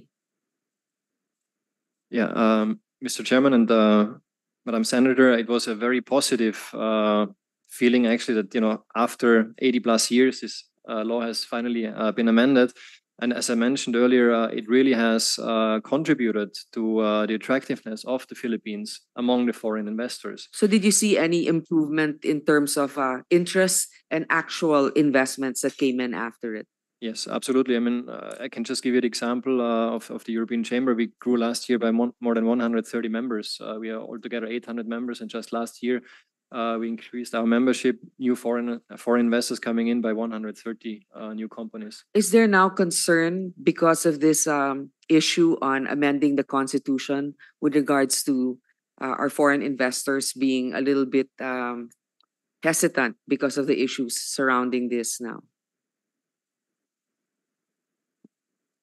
Well, I have to be honest. Uh, we got some uh, calls from some of our members uh, following the news and the political debate about how this might unfold or in which direction it could actually uh, move further. So there is some uncertainty out there. Yes. Thank you, sir. Thank you. Uh, Mr. Duarte, would you care to add to that? Or uh, is that uh, your position as well? I represent the European Chamber as well, and I think uh, my colleague uh, uh, Florian already stated. I, I might add one one sentence is that um, this we are very honored to be here. We understand that is a Filipino debate, and we don't want to be, let's say, deeply involved in promoting solution A or solution B but we are also very honored that we have the chance to put our positions. So, but in in a sense, that, that this could be an opportunity to awake interest from more foreign investments in the country, knowing that, and I hear we can we can talk for the European investment. So, from 100% investments in Southeast Asia, only 4% come to the Philippines, and we need to work together to increase this number and everyone that needs to contribute. The European Chamber from one side to attract, but also the country to accept and welcome foreign investment. So that's uh, my just add on on the topic. Thank you. Well, that's a useful statistic. Thank you, Mr. Duarte. Uh, Ms. Duar, uh, care to say anything uh, for the New Zealand and Australian Chamber of Commerce? Uh, same position as my fellow JFC colleagues as well. We are very supportive um, of coming into the country. Australia, New Zealand, especially Australia, now has launched their economic strategic partnership for the next 17 years with Asia up until 2040. So we have also seen an uptick of Australian interest wanting to come over. So same position as stands. Thank you. Thank you. That's uh, very brief. Dr. Angeles, uh, care to comment on the uh, provisions uh, we have? Doctor, yeah. And perhaps, uh, you know, Dr. Angeles has been a valuable resource during our public services um, bill hearing. And I would like to hear if perhaps he feels now compelled that we should open up um, other public services, uh, public utilities, uh, or are we okay so far with the PSA? Yes, please Based go on ahead. your observation. Please go ahead, sir. Yeah. Um, um, honorable chair and uh, members of the committee uh, and uh, distinguished uh, um, individuals in attendance. Um, first, um, perhaps um, as regards, first I had the honor of uh, working with uh, Senator Poe and her colleagues regarding the Public Service Act amendments. That that law was founded on what we believe to be um, the appropriate um, interpretation of the provision that in fact uh, public utility regulation was focused on uh, the regulation of natural monopolies and their ills and that uh, the remaining uh, most of the what were remaining uh, sectors that were classified as public utilities in the Public Service Act amendments uh, were uh, considered to be natural monopolies. Those specifically that are considered by uh, the economic literature to be uh, still uh, natural monopolies would be electric power transmission, distribution, water pipeline uh, distribution sewerage, petroleum distribution through pipeline specifically. Um, and as I'm I'm uh, elated to note that from the foreign chambers that this has been helpful. That said, um, I would um, I would like to address a few of the points mentioned earlier. Uh, while I understand that um, Professor Carlos um, believes that foreign equity restrictions are irrelevant, uh, I would uh, uh, like to address that by two points. First, are regarding the theoretical literature and empirical literature on control premiums. If, in fact, control was irrelevant, that control would not be worth a premium. And in fact, the financial economics literature has proven that there is, in fact, a control premium. Uh, number two, on the theoretical aspects of the legal matters, certainly, I think it's fairly well known that in corporation law, that certain basic um, fundamental decisions must be taken with um, two-thirds vote of stockholders, such as amendment of articles of incorporation, as regards uh, substan- sale of substantial of all or substantially all of the business, etc. So these are matters which would be certainly important from a theoretical aspect. Now, um, from the empirical aspect, we have seen that with the Public Service Act amendments, in fact, um, there has been, and renewable energy uh, IRR amendments, there have been uh, first um, higher, uh, there has been a higher interest in investment, and at the same time, um, pledges made, which I understand as uh, um, Professor Villegas has pointed out, have resulted in at least about 14 billion dollars worth, and that has translated to uh, and a, a substantial portion of that was in renewable energy. Now that said, I would say that, and I will confine myself specifically to the issue of public uh, utilities. Um, I would say that, as you mentioned, as, as the chairman and has, has repeatedly mentioned, uncertainty is uh, something that is worth considering. And I think this also mentioned by the joint foreign chambers. Now, um, it cannot be denied that there are two pending Supreme Court petitions challenging the constitutionality of the Public Service Act. And while I believe that the Public Service, uh, the Public Service Act amendments law is uh, will pass muster, uh, that said, the Supreme Court still has the final, uh, is in, in the end, the final arbiter of the meaning of the Constitution and its meets and bounds. So for that reason, I believe that the amendment adding unless provided by law would be uh, helpful in addressing the uncertainty which uh, the chairperson has in fact pointed out. Um, I would I also do agree uh, with the good Senator Poe that there are a number of restriction, uh, number of um, uh, safeguards that our policymakers, our wise policymakers have added, which I think will help to mollify their concerns. One of them is the uh, state-owned enterprise prohibition, which affects public utilities and critical infrastructure. As in fact, um, it was in fact asked in the last bar exam, not even 1%, the, there was a proposed 1% investment. But even under that state-owned enterprise prohibition, post-effectivity, uh, there is no state-owned enterprise that can invest in public utilities and uh, critical infrastructure. There, are, as you also mentioned, there's a reciprocity provision.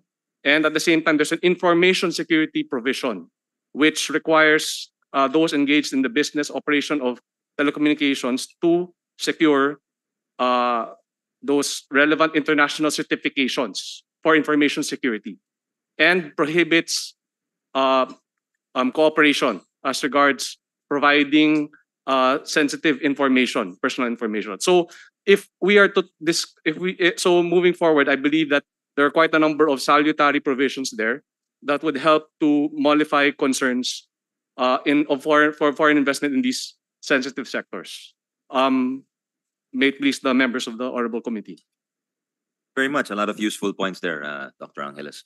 Uh, Senator Poe, I think, wants to interject, and then Dr. Villegas is also raising his hand. So, Um, I'd, I'd like to address my question uh, to our uh, Justice Carpio, having been a member of the Supreme Court as one of the justices. As you know, the Public Service Act is now being questioned before the Supreme Court. And maybe that's also one of the reasons why our chairman here and some of our colleagues um, would like to strengthen uh, the provisions of the Public Service Act by amending this through the RBH 6. Uh, what is your view on it, sir? Is there a legit, legitimate reason why we should uh, go through this process, or do you feel that the Supreme Court will eventually resolve it uh, soon? Well, Mr. uh, I'm in favor of, uh, uh, connected po is it sa... connected? Uh, uh, Yes, with your permission, Justice Carpio. Uh, Correct, Senator Binay, subsequent yes. yes. po, Mr. Chairman. Uh, and would the passage of this resolution uh, make the pending cases in the Supreme Court moot and academic?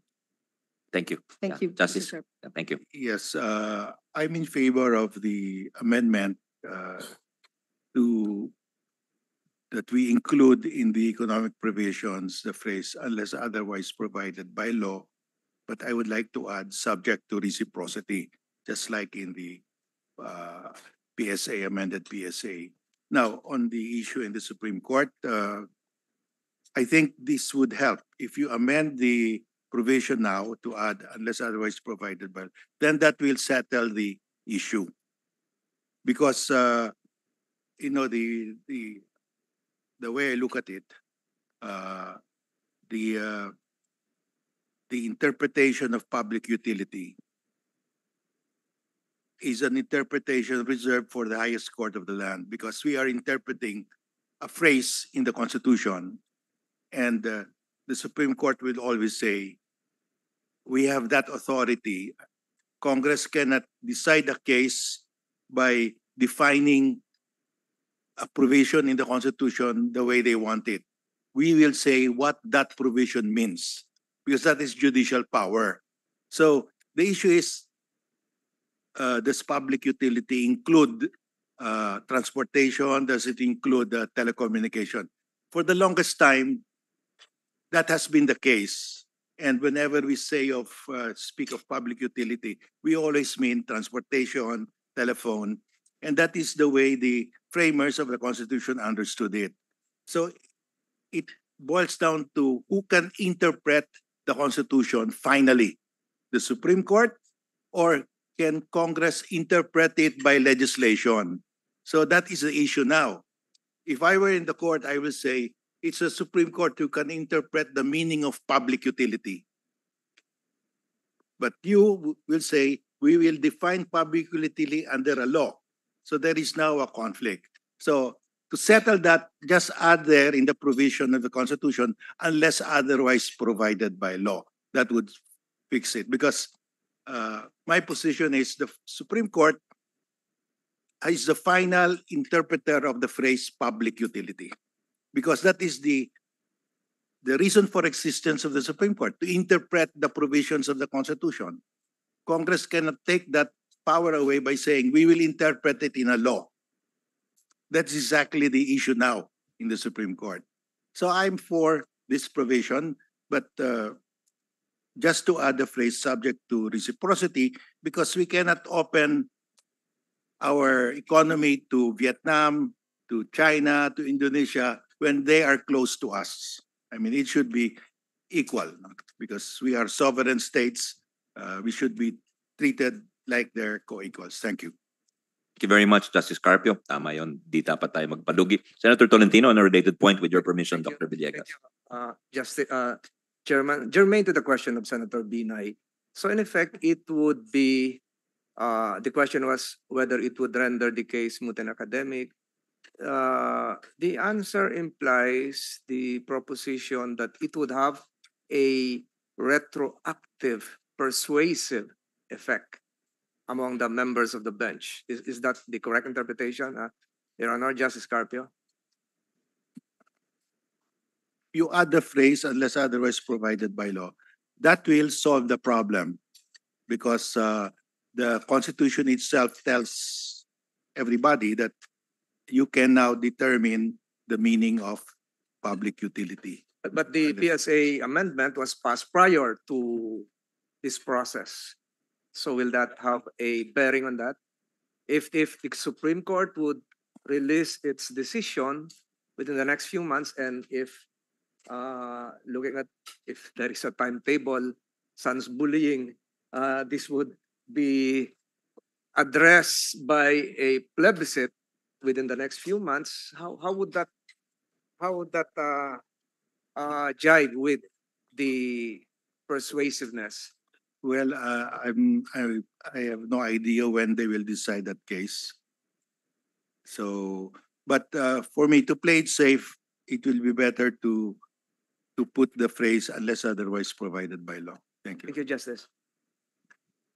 Thank you very much, Senator. Um, back to you, Dr. Villegas. Yes, I'd like to emphasize the importance of what Mr. Payne asked. Should restrictions, Filipino first, which will always be relevant, be in the Constitution or should they be legislated? And I'd like to give you a background about why those of us who drafted the Constitution really made our Constitution a series of legislation. I'm the first one to say that sooner or later, we have to amend this very imperfect Constitution of 1987. Th- That is a very important question, so I would love to hear from you, uh, sir. Because 1986 was not the appropriate time to write with serenity, peace, and quiet the basic law of the land. The whole nation, including us, were traumatized by the last turbulent years of the dictatorship, and not to mention the Revolution. So emotions were high, and the idea was let's produce a document that will make sure that the dictator will never come back. And so our constitution is really an anti-Marcos constitution. And we jam-packed it with so many, many provisions that you will not find in most basic laws. And that is why one day I would like to see this constitution amended. The question right now is timing. I'm of the opinion that now is the time. But sooner or later, we must revise and remove all those restrictions and make sure that in a VUCA environment, volatile, uncertain, complex, and ambiguous, we give the legislature precisely the freedom to be flexible. So we will always debate about Filipino first restrictions, and they will always be necessary. But the question is, should they appear in the basic law of the land? Mr. Chairman. Uh, Senator Nancy, yes. So, Dr. Villegas, parang today is not the right day to change the constitution. Yes, I already said why, because we have to first address the biggest problem. 20 percent, 21% of our fellow Filipinos are going to bed hungry. every When day. is the right time to do it, uh, Dr. I was saying, Yeah. if the president is able to achieve those two targets, bring down the poverty incidence to single digit, which Secretary Balisacan is always saying, that by 2028, we will see a single digit. And how do you do that? I already mentioned, make sure that we increase the rate of investment to GDP to 30%. And you can do that only because of lack of uh, local capital. This will not be always. Probably when we already are $10,000 capital, we will have enough capital to really implement Filipino first. But I'm talking about the sacrifices today.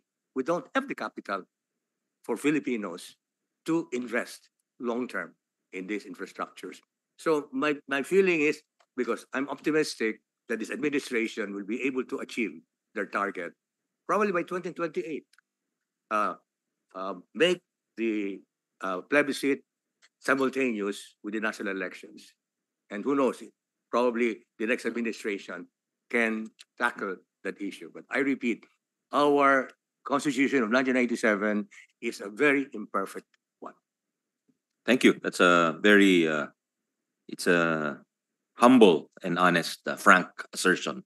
Because uh, some people are tied to their work, but uh, you're obviously not. And you're, uh, as an intellectual, you're, you're, you've assessed it very honestly. We appreciate that, uh, Dr. Villegas. I think this is the right time to insert some data we've received from the Senate Economic Planning Office or the SEPO of 18 because we're talking about uh, whether these restrictions should be in the constitution or in uh, uh, ordinary legislation.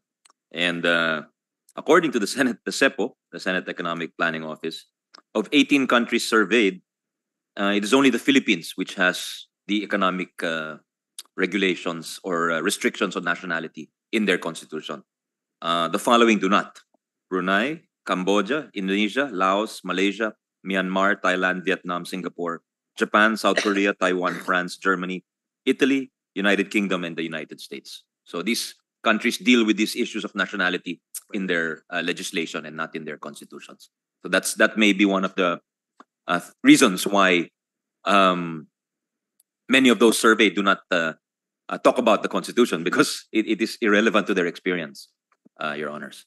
So um, next we'll have uh, Attorney Ocampo. Attorney Ocampo is a uh, a practitioner who uh, for tax and corporate law who has lived in uh, Kazakhstan and uh, lived and practiced investment law in Kazakhstan and uh, Cambodia and Vietnam or just Yes, I Cambodia. did some work on Yes, please, please. Uh, we, we look we, we look forward to hearing from you, Attorney Judo. ma'am. Thank you very much, uh, Honorable Chair.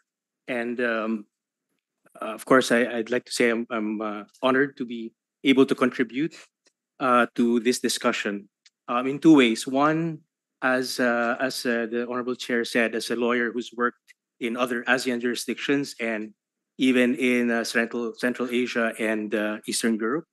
Um, second, um, also as a, a managing partner of a, a small law firm that works primarily with foreign investors. So, as uh, the honorable chairman said, I've actually worked in very exotic locations. So, Kazakhstan, I was a uh, tax advisor in uh, uh, Budapest in Hungary, uh, and I've worked with a regional uh, law firm. It's called DFDL. Uh, I did some work on Cambodia, Myanmar, Vietnam, taxation and investment. The and what I can I hope to contribute is that in my observation, the decision of a company to invest in a certain location, uh, it's almost the same everywhere else. So in uh, let's say uh, an American company, you would have what maybe we can call here a sponsor. It's one person in the com- company that thinks, okay, there's an opportunity in the Philippines. And then that company would normally also have an investment committee. And that sponsor, that person, will then go uh, to the investment committee and defend uh, his proposal to invest, say in the Philippines or Vietnam or Cambodia. Um, one of the things that is very important there is his defense of whether or not a certain hurdle rate uh, would be met. So it's an investment uh, rate uh, that is based on the capital cost and borrowing cost of that company, right? So uh, that person would say, yes, I will go. It would be higher than a certain this certain hurdle rate. So let's invest in the Philippines or Vietnam or Cambodia or what have you. The next step usually is a legal study, what the investors call a market entry memo. In that market entry memo, uh, law firms such as ours, we are asked, okay, uh, what are the rules?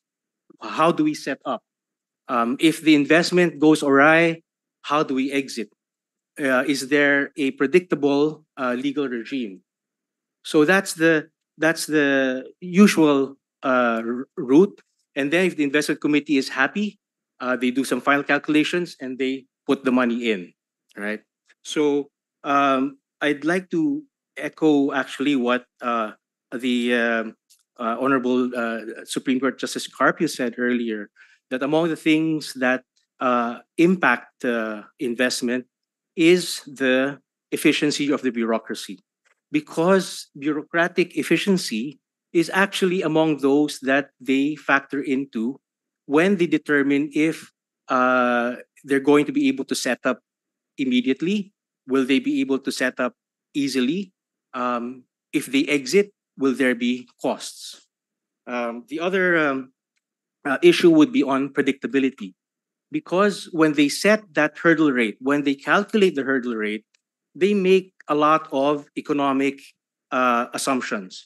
And so a sudden change in the law or a sudden change in the interpretation by the Supreme Court of a law would put that calculation in danger. Again, the that the also just, just my observation, it's this thing, it's the hurdle rate. It's whether or not um, you will make the company will make more money than uh, its cost of capital is the one that's important to these investors. So again, two things: it's bureaucracy and predictability, right? And uh, at the risk of sounding like a fan of uh, Justice Carpio, I'd also like to uh, to to um, echo what he said about the uh, PSA uh, matter. Um, uh, as a matter of fact, I was also speaking with uh, Dr. Angeles earlier about it.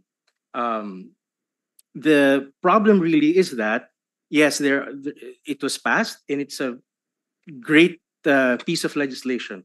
Um, uh, our firm actually uh, uh, benefited a bit from the Public Service Act amendment and the change in renewable energy because those are our clients. Um, and they were very enthusiastic when those when the Public Service Act uh, was amended and when the DOJ and DOE uh, revised the IRR uh, for RE uh, uh, renewable energy uh, investments.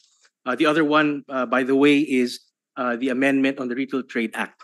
Th- th- that one actually also created some excitement with the foreign law firms that we work with and, and foreign clients. But going back to the PSA, um, I think uh, during the time that you know it came out and uh, we would have discussions, uh, practitioners, on whether the challenge the Supreme Court or what's going to happen to to this. Uh, I think many practitioners think that um, the uh, uh, validity would likely be confirmed, but there's always that risk that, as Justice Carpio said, um, it's a, a very important constitutional issue. Can the uh, legislature actually define what's in the Constitution, or can the Supreme Court ignore that definition and uh, look to other uh, sources uh, to determine what public uh, uh, public utility is?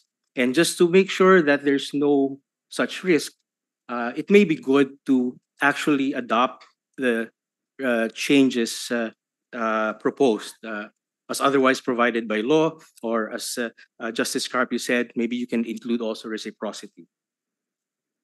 Um, in in the end, uh, with regard to the issue of whether or not the national uh, uh, ownership restriction should be in the Constitution, in the end, it's about trust. Do we trust future House of Representatives and future Senates to act responsibly and uh, uh, promote uh, the national um welfare when they prescribe these levels or threshold for Filipino ownership.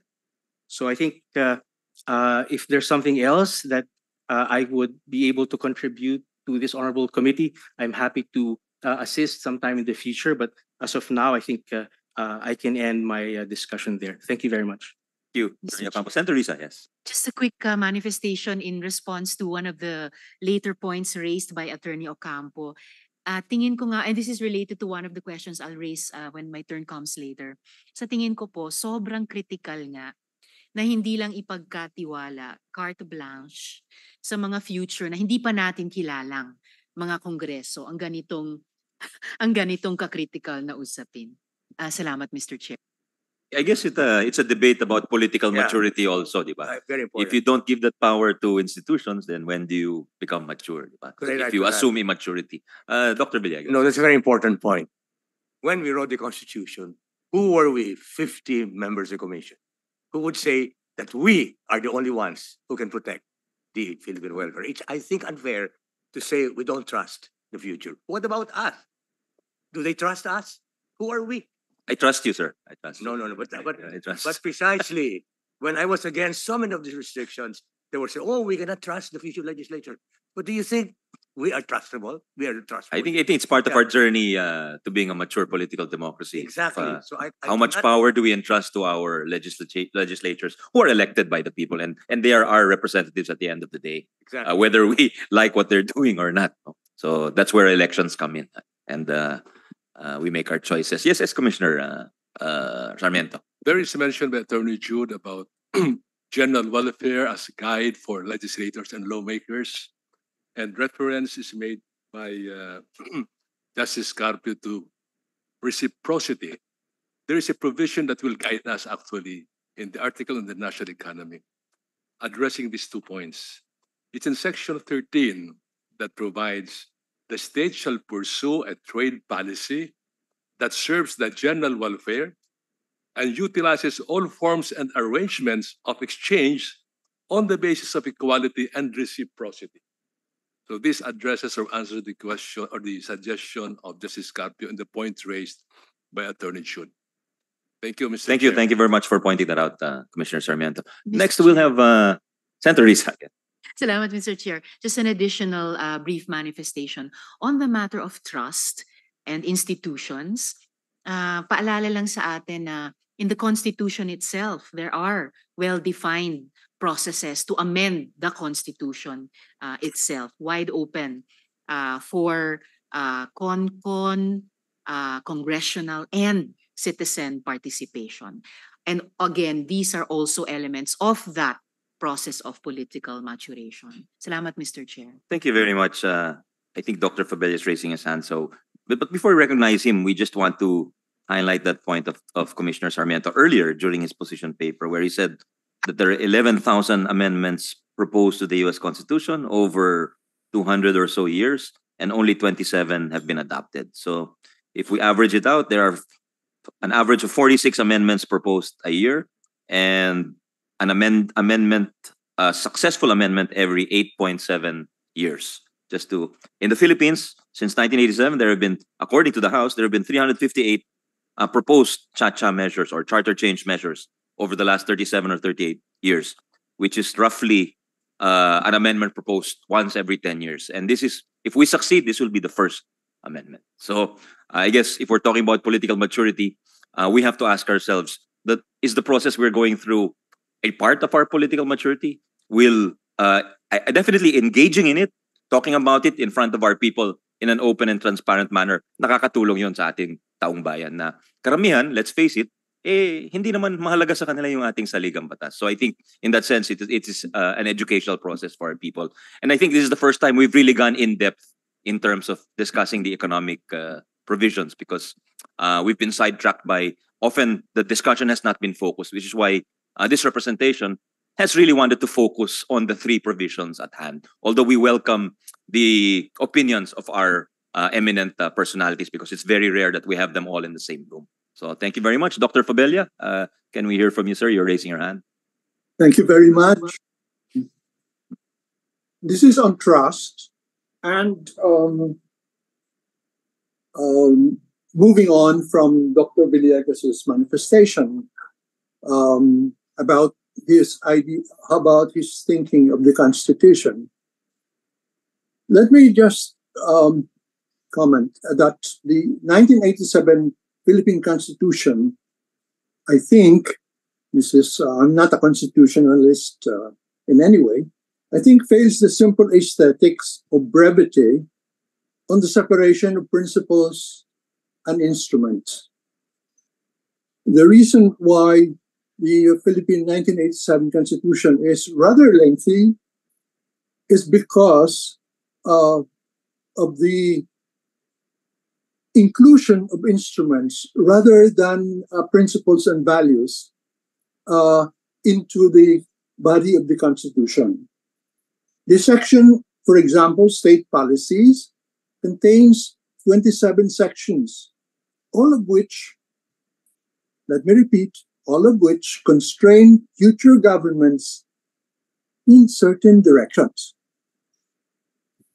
What it tells us citizens is that the framers of the 1987 Constitution harbored a deep distrust for future governments, and that is the, uh, including the current um, uh, generation, to act with prudence. And so their hands should be tied. But this also limits their capacity to respond to changing social, physical, and technological environments. In other words, resilience be damned. So uh, there are uh, provisions in the Constitution that are also economic, but which we're not going to uh, include in the cha-cha. But I wish that they would be included. For example, uh, the the issue on land policy and and uh, the um, comp- comprehensive agrarian reform program. Uh, so um, again, uh, I reiterate the idea that laws are uh, rather easy to uh, reverse, and therefore it doesn't have the binding, um, credible commitment value of a um, the lifting of the, the uh, restrictions of the Constitution.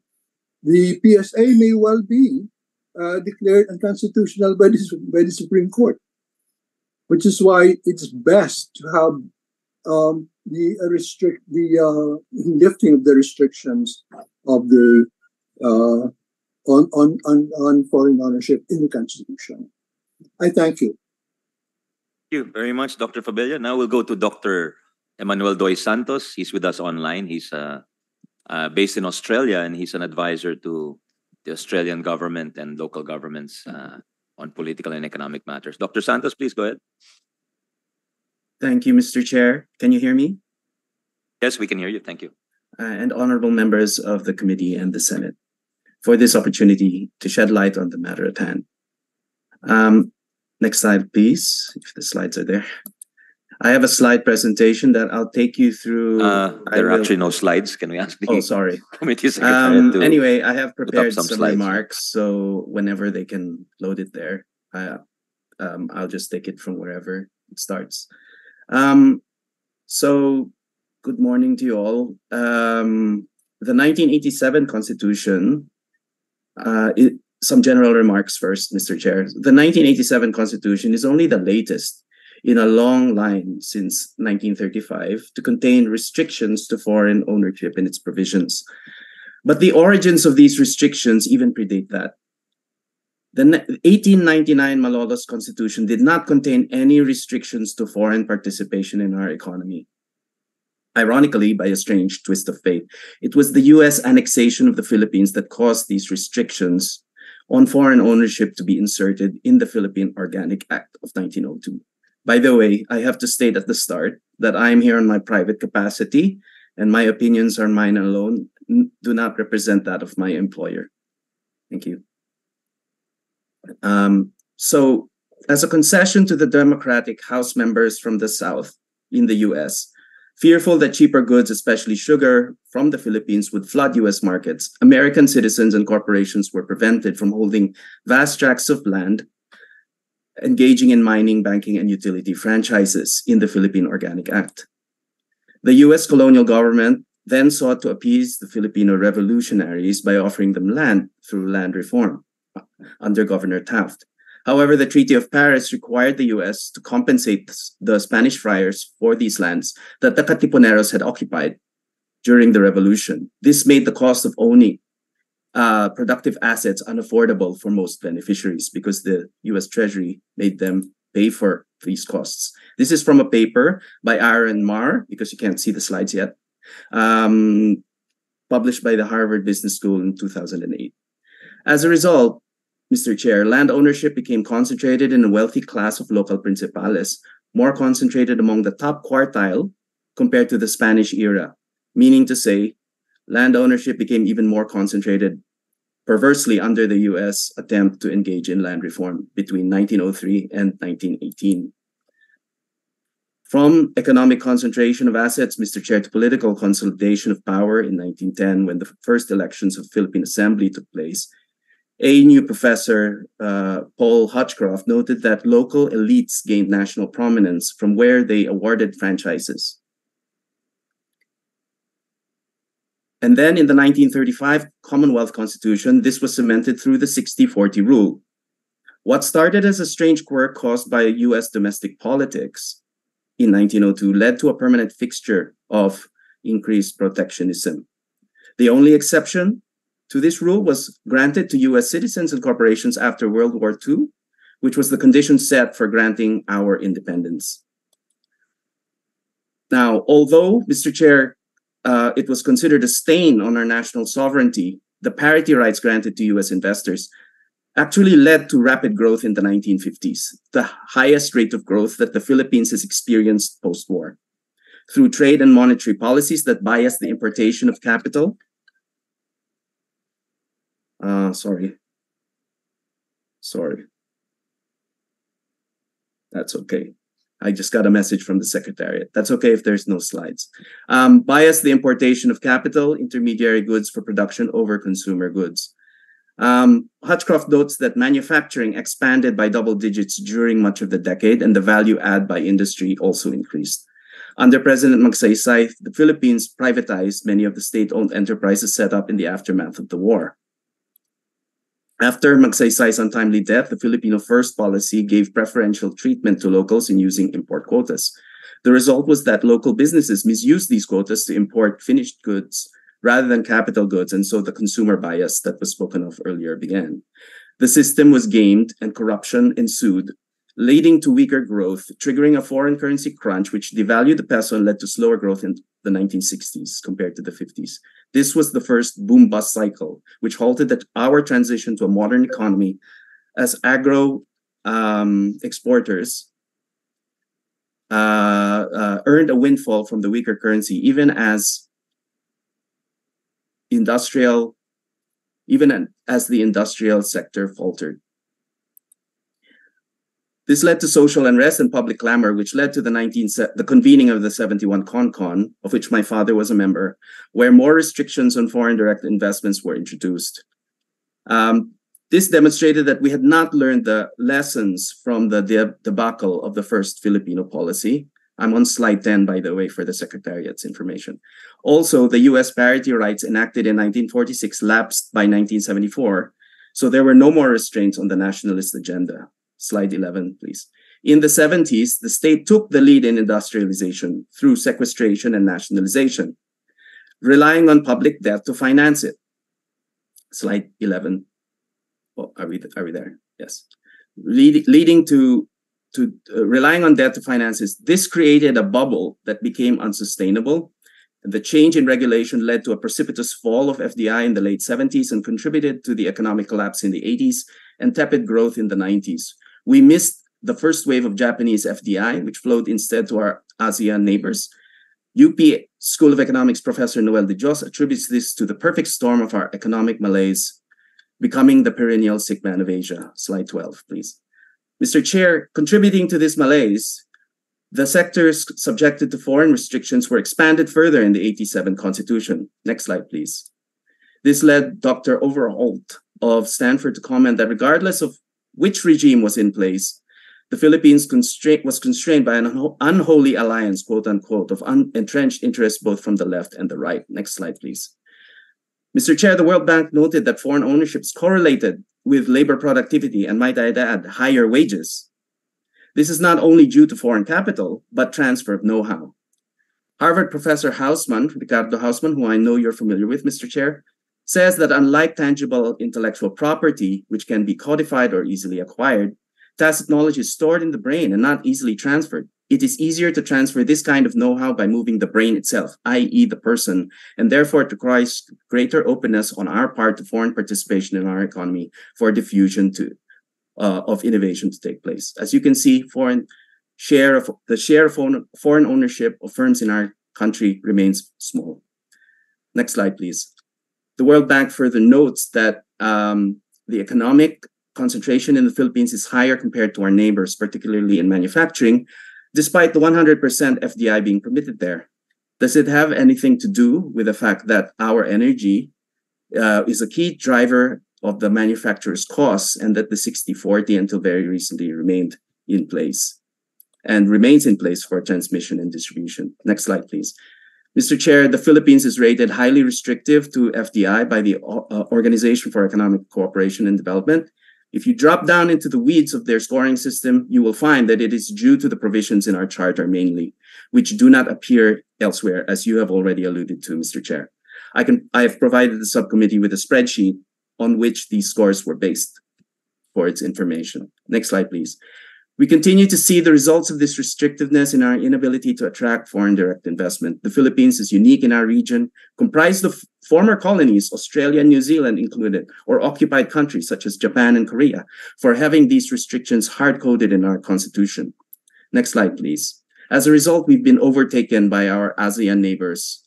Um, uh, next slide, please. As a result, we have been overtaken by our ASEAN neighbors. Vietnam, next slide, please, being the latest to overtake us. Next slide, please. In the 90, in 1985, we had three times their per capita income in Vietnam. But due to their opening up through the Doi Moi reforms of 86, while we were increasing the restrictions in our 87 constitution, Vietnam has over finally overtaken us 35 years later in per capita GDP and minimum wages, may I add. Next slide, please. So turning to RBH 6, which considers granting legislative fiat to regulate the ownership of public services, basic education, advertising, we might ask, why is it needed, Mr. Chair? As you have, as some members of the committee have asked already. Evidently, the PSA has not necessarily solved the problem. After removing electricity generation from the 60-40 rule through PSA, which is still subject to court uh, deliberations, renewable energy is considered one of our bright spots for investment. The problem is that our electricity grid and the lack of connectivity for commercial solar and wind power projects, which are in remote places, eh, but closer to the consumers. Distribution is still subject to 60-40. As renewable energy increases its penetration in our energy mix, the upgrade of the grid is needed to handle variable energy, or else we will risk short-circuiting and blackouts as per what happened in Panay earlier this year. Existing legislation tries to manage this, but causes slower take-up of rooftop solar due to the higher associated costs. Ari Peskoe, director of the Electricity Law Initiative at Harvard, University, Harvard Law School, talks of a utility transmission syndicate in the United States, which prevents the, the integration of solar and wind and battery. The Federal Energy Regulatory Commission has said, he said, has tried numerous times to expand transmission capacity to, to capture new clean energy sources. This decades long effort has been nearly an impossible task, he says, transforming a system of utility monopoly fiefdoms, Mr. Chair, into competitive marketplace. As Ari put it, what the FERC is trying to do is counteract the incentives and abilities of utilities to act uncompetitively the problem is utility control and utility interest in maintaining the status quo. Utilities, he says, uh, for the most part, inherently aren't against clean energy, but they deploy it at the place and scale that will benefit them. So, Mr. Chair, that is one argument that I would like to put forward. I have other slides, but I will leave it at that as I believe that I have already um, exceeded my time at this point. Thank you, Mr. Chair. And Thank you very members. much. Uh, we appreciate the historical perspective. Uh, Dr. Santos. Thank you. Uh, can we hear from Mr. Ed Francisco from the president of BDO Capital? Morning, sir. Or good afternoon, rather. Good afternoon, sir, uh, your honors. Now, I just wanted to share my views. Thank you for allowing me to be here. I represent the banking industry, but in my case, I'm a practitioner. Uh, I daily speak to foreign and local investors. In fact, I'm the one talking to all the investors for the NAIA privatizations. I'm dealing for both foreign and local. Those are the long-term kinds of investors. I also deal with the short-term investors or what as um, Dr. Villegas talks about the hot money because the stock market, I also manage that, the, that business. So I'm doing two IPOs. So at least as my value add there is that I talk to the investors if they're willing to invest already. Uh, and basically, I guess I, su- I support what Dr. Villegas and Justice Carpio said. Naman, um, the PSA, the Foreign Investment Act, the Trade Liberalization Acts are great. And then um, Sen- Senator Paul asked earlier, there was really a lot of positive news from foreign investors who want to invest. They're dealing with me because they want to invest, especially in renewable energy. Um, the, the big problem or the complaint they have is not naman the ownership limits. The at least from a practitioner's perspective, their complaints are really more the bureaucracy, corruption, and red tape. Maybe uh, just as an example, for the foreign investors we talk to in renewable energy, it's been reduced already, but it still takes 167 signatures for for for a project to get approved. So even if with the Renewable Act, with all this trade, uh, I guess with the with the I guess tax benefits already, it just takes so long and it takes around five years. So even if we're all in one, we want to have more energy, you want it cheaper. What's preventing the investors from actually getting their project is all the bureaucracy. So it's not naman the the foreign. Can, can I just, sorry, I don't sir. usually interrupt my resource person, Sorry, but that is crazy. 167 signatures. I just wanted to put that on Ah. record. Yeah, that's crazy. Your Honor, it's actually gone down. A few years back, it was 250. So nabawasan na, but unfortunately, 167 is really. Cra- I, I I agree, sir. So that's that's re- the real bottleneck. There are many people who want to invest locally and foreign, even the f- large local conglomerates, but this is what they have to deal with. So I guess what I just want to say is that yes, I I also agree with the foreign chambers. Any changes to improve I guess investments would be appreciated.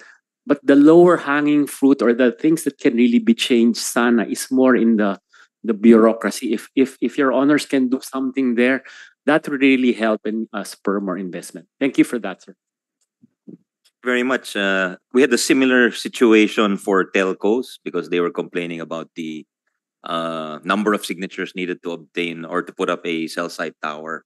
And uh, in the Bayanihan 2 law, which we passed uh, a few years back, we placed a, although uh, it was time bound, a time bound um, sort of emergency provision to cut the signatures down. So I think we need to do that for uh, just an offhand, just thinking offhand. Thank you, Mr. Francisco.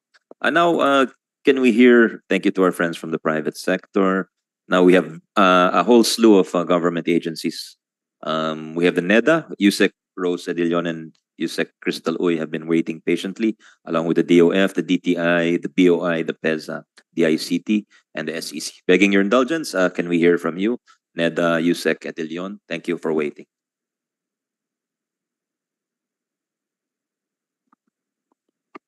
Thank you, Mr. Chair, and thank you to all the uh, eminent persons around this table. Uh, uh, Thank you also for this opportunity really to, to discuss about this uh, economic provisions in the Constitution. So as you know, the, um, the, the Philippine Development Plan 2023 to 2028 is about transformation. And uh, uh, I, I think part of the transformation is that we have to look at, you know, all those, uh, all those uh, things that could facilitate that uh, that transformation. So um, there was a there was a question on uh, we have actually opened already our economy. The thing is, uh, if you look at the uh, OECD, they, they call it the restrictiveness index. So um, although this is still uh, this is a 2016 uh, document. Let me see. Ah, sorry, 2019. 2019 document. So it talks about actually four uh, aspects of this uh, of this restriction. I'm just gonna find. Okay, four aspects of the restriction. The first one is to do with uh, uh, the foreign equity restrictions. The second one is to do with uh, restrictions with respect to uh, the screening, the discriminatory screening, where uh, those coming from uh, uh, from foreign investors are actually screened differently or are applied uh, a stricter uh, screening process. And then the, the third one has to do with they would say other um, other aspects of of restrictiveness, like um, with respect to let's say branching, with respect to um, uh, they call it uh, operational uh, operational restrictions like uh, you cannot put up branches here uh, with respect also to um, uh, uh, own ownership of uh, of land, and then the degree of transparency, and then the discretion with respect to the granting of approvals. And then the the other one is uh, with respect to restriction on foreign personnel. So with respect to to to this, looking at this uh, at this four, uh, the um, and looking at the uh, the countries Philippines, Indonesia, Thailand, Malaysia, and Vietnam, Philippines actually comes out as uh, as the most restrictive. Uh, we will be submitting to the committee the restrictiveness with respect to uh, cert- certain sectors because they looked at 22 sectors in all, and uh, it would seem that uh, the Philippines is uh, most restrictive with respect to the primary sector, agriculture, fishery, forestry, uh, mining, and quarrying and then uh, some secondary sectors as well, and uh, also some uh, tertiary uh, sectors, which which are on the on the services. So, and of course, you would say that there are other things that, and already mentioned by by the members in in this group, that um, there are other things that actually influence the decision to invest in another country. Now, a paper by uh, Mistura, also from the OECD, so this is 2019, he looked at uh, a panel data, so looking at 55,000 actually such uh, bilateral investments. So uh, looking at the inward uh, FDI stocks and uh, controlling, controlling for the aspects of, uh, let's say, distance, let's say, uh, the the capacity of uh, of the economy, looking at the GDP, looking also at the difference in the GDP, looking also at similarity in terms of language, and also if uh, the country has been a colony before, and looking at so many. So, in other words, controlling for the other factors.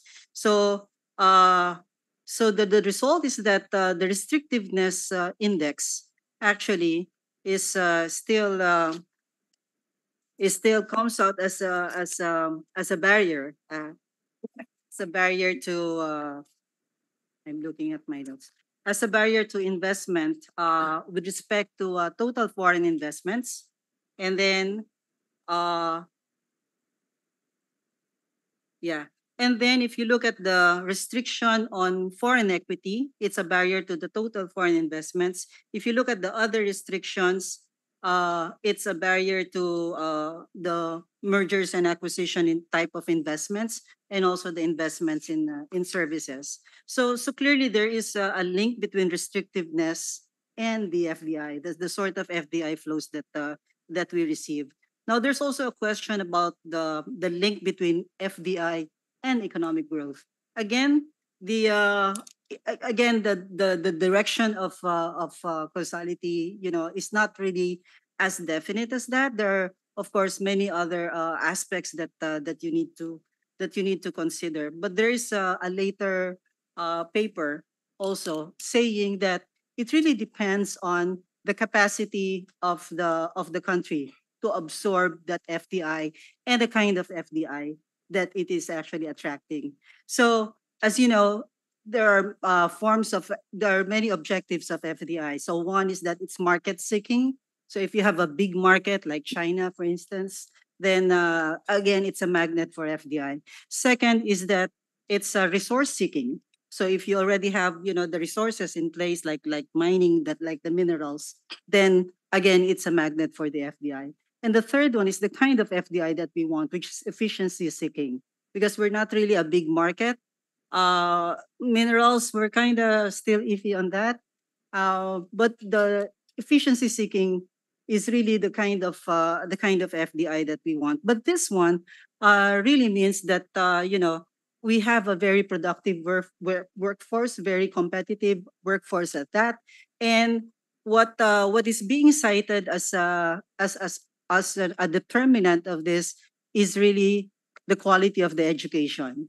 And uh, this is again another aspect in the Constitution with respect to restrictiveness that we would like to, you know, have more discussions about because we think that uh, this is something that uh, that should really be be addressed. We looked at uh, other jurisdictions with respect to education, and we see that uh, um, many of our neighbors actually have uh, lifted the uh, the foreign equity restrictions. Malaysia allows 100%, Vietnam allows 100%, Thailand fifty percent, Indonesia forty-nine, Singapore one hundred percent, Philippines forty percent. And we also What, looked what at. the- specifically ho yun, uh, Yusek Rose, just for the Oh, record? sorry, Ano po yung, in what, uh, in what, uh, investment in what? Yeah, foreign ownership of uh, educational institutions. So in uh, higher education ito. Thank you. Um, actually for Bangkok, it's open kahit kahit ano, uh, even uh, even basic. So um, in the case of Singapore and also uh, Malaysia later on, um, there was that conscious uh, that that was a deliberate uh, effort in their case to really build a knowledge economy, to be an education hub for Asia. And so actually there was even a time that they were uh, they were very active in poaching uh, you know, all the good professors, whether in the Philippines or or uh, or or in other countries, because they really wanted to build uh, that uh, that knowledge economy. And uh, actually, they, they they succeeded because there have been many uh, branches, campuses of uh, international schools that have uh, set up uh, that were set up in, uh, in in the Philippines. Now, I'm sorry, in Singapore. Now, you might say that uh, we already passed the Transnational Higher Education Act, uh, which already allows for you know exchange programs, etc. But the problem is that it did not touch on the 60-40 in terms of the ownership of uh, of the foreign schools. And then uh, I also looked at the review by the British Council uh, of the higher education institutions in the Philippines, and they listed uh, actually 10, uh, 10 various provisions that they have to face if you are a foreign school. And the constitutional provision is just one of them. The other is uh, the corporation code. You have also the capitalization. You have the re- national internal revenue code, etc. So 10 of this. So there are uh, as as mentioned in the OECD, when, when you talk about restrictiveness, it's not just to do with the constitution, although that's a big part, but it, there has to be a follow through uh, with respect to the, the other aspects. And so, if you are also um, in in with respect to investments or production processes, we have what we call a smile curve, where uh, let's say if uh, if you draw on the vertical axis the value added and then on the horizontal axis is the uh, the production process from design to uh, you know the prototyping part up to the then the assembly and then let's say the uh, the after sales service the advertising etc etc so you have that smile curve meaning that the higher value added is really on the design part and then also on the after sales the advertising part. And then here in the middle is uh, you know the assembly but that is also where uh, where you have the, the the lowest value added. And unfortunately that's the kind of uh, of the fdi that we have. So we are into you know we we get the raw materials let's say for our manufacturing and then uh, just do some uh, some additional and then export it. So uh, and the thing is we cannot do the design part and it's really because uh, we have a very low um, um, in terms of the human capital for for the science technology engineering and mathematics. So again it has to do with uh, again uh, the lack of uh, uh, of good uh, higher education uh, institutions. And then um, already mentioned was the the the challenge before the Supreme Court of the Philippine the Public Service Act, and and so we we hope that uh, this could be addressed as well, and we do hope that uh, you know as uh, as mentioned by uh, Attorney Villegas earlier that uh, we would uh, we would have the tools and also the next generation would have the tools necessary to really adjust to to a VUCA world. And oh, just for the record, I just want to say as well that the issue of national security is in the PDP, so it's in chapter 13. Sayang wala na si Professor Carlos. Anyway, I also want to mention. I also want to. Sayang, wala na siya. Wala na siya. Paki, basta on the record, nandiyan siya. Okay. Hindi niya nag-google na maayos. Anyway, uh, I also want to mention that with respect to uh, the MSMEs, and this is what we we tried to, we, we actually addressed in the amendments to the RTLA, the Retail Trade Liberalization Law. Um, that uh, in the Philippines, as you know, the MSMEs is about ninety-nine point six percent of all enterprises. The micros are actually ninety point five percent. The small comprise eight point seven percent, and the medium comprise zero point four percent.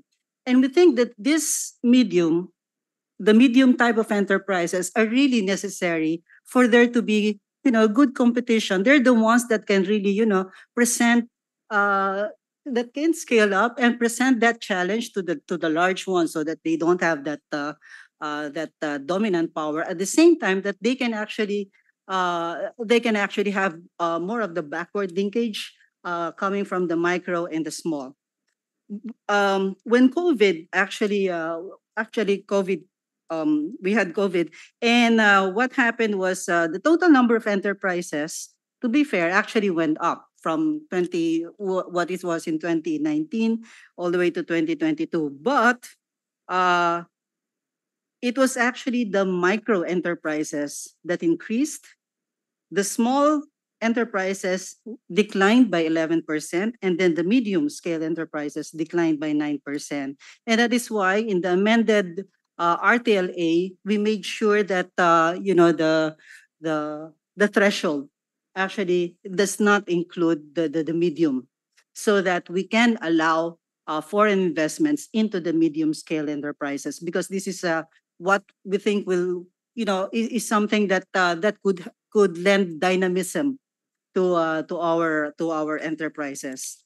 Um, I think that is uh, uh, yeah. I'll stop there so that uh, the other uh, the other members of uh, the executive can uh, can also discuss. Thank you, Mr. Chair. Thank you. Mr. Uh, Chair. a lot of good points there. I just like to, sorry, with your indulgence, uh, Senator Risa, just we'll ask for more information on the smile curve and on the uh that what your point about the medium uh just to clarify just some clarifications we'll, we'll i'll have my staff do it to you not to take up the time of the subcommittee Senator Risa.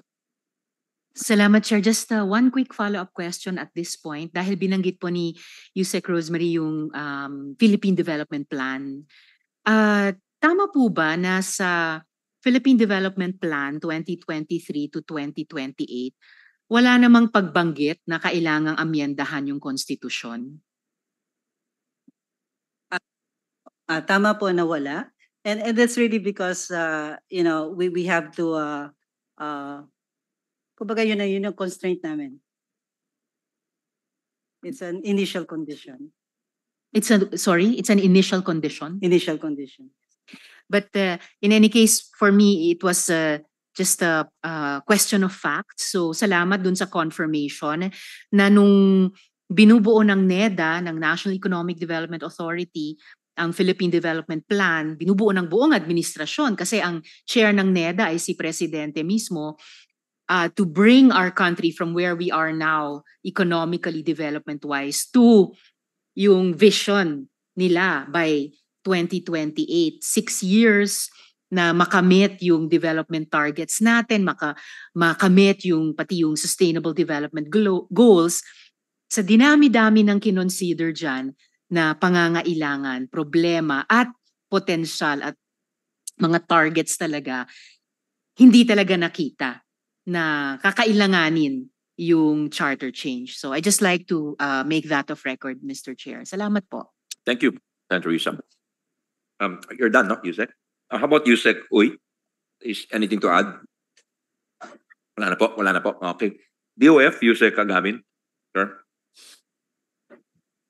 Good afternoon, Chair, uh, members of the Honorable Commission. Um, uh, first of all, my principal, Secretary Recto, sends his apologies for uh, as he will not be able to make it today's meetings. But we've had uh, an opportunity to discuss the matter at hand.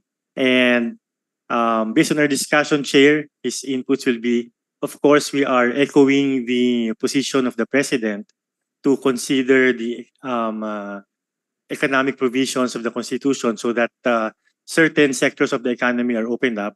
Second, as stated by the other speakers as well, the provisions restricting the ownership on mass media, advertising, education um, should be uh, lifted as well. And third, um, we are cognizant of the laws passed recently by um, this Congress, opening up the um, um, certain economic activities, the Public Service Act, the Retail Trade Nationalization Act, and Foreign Investments Act.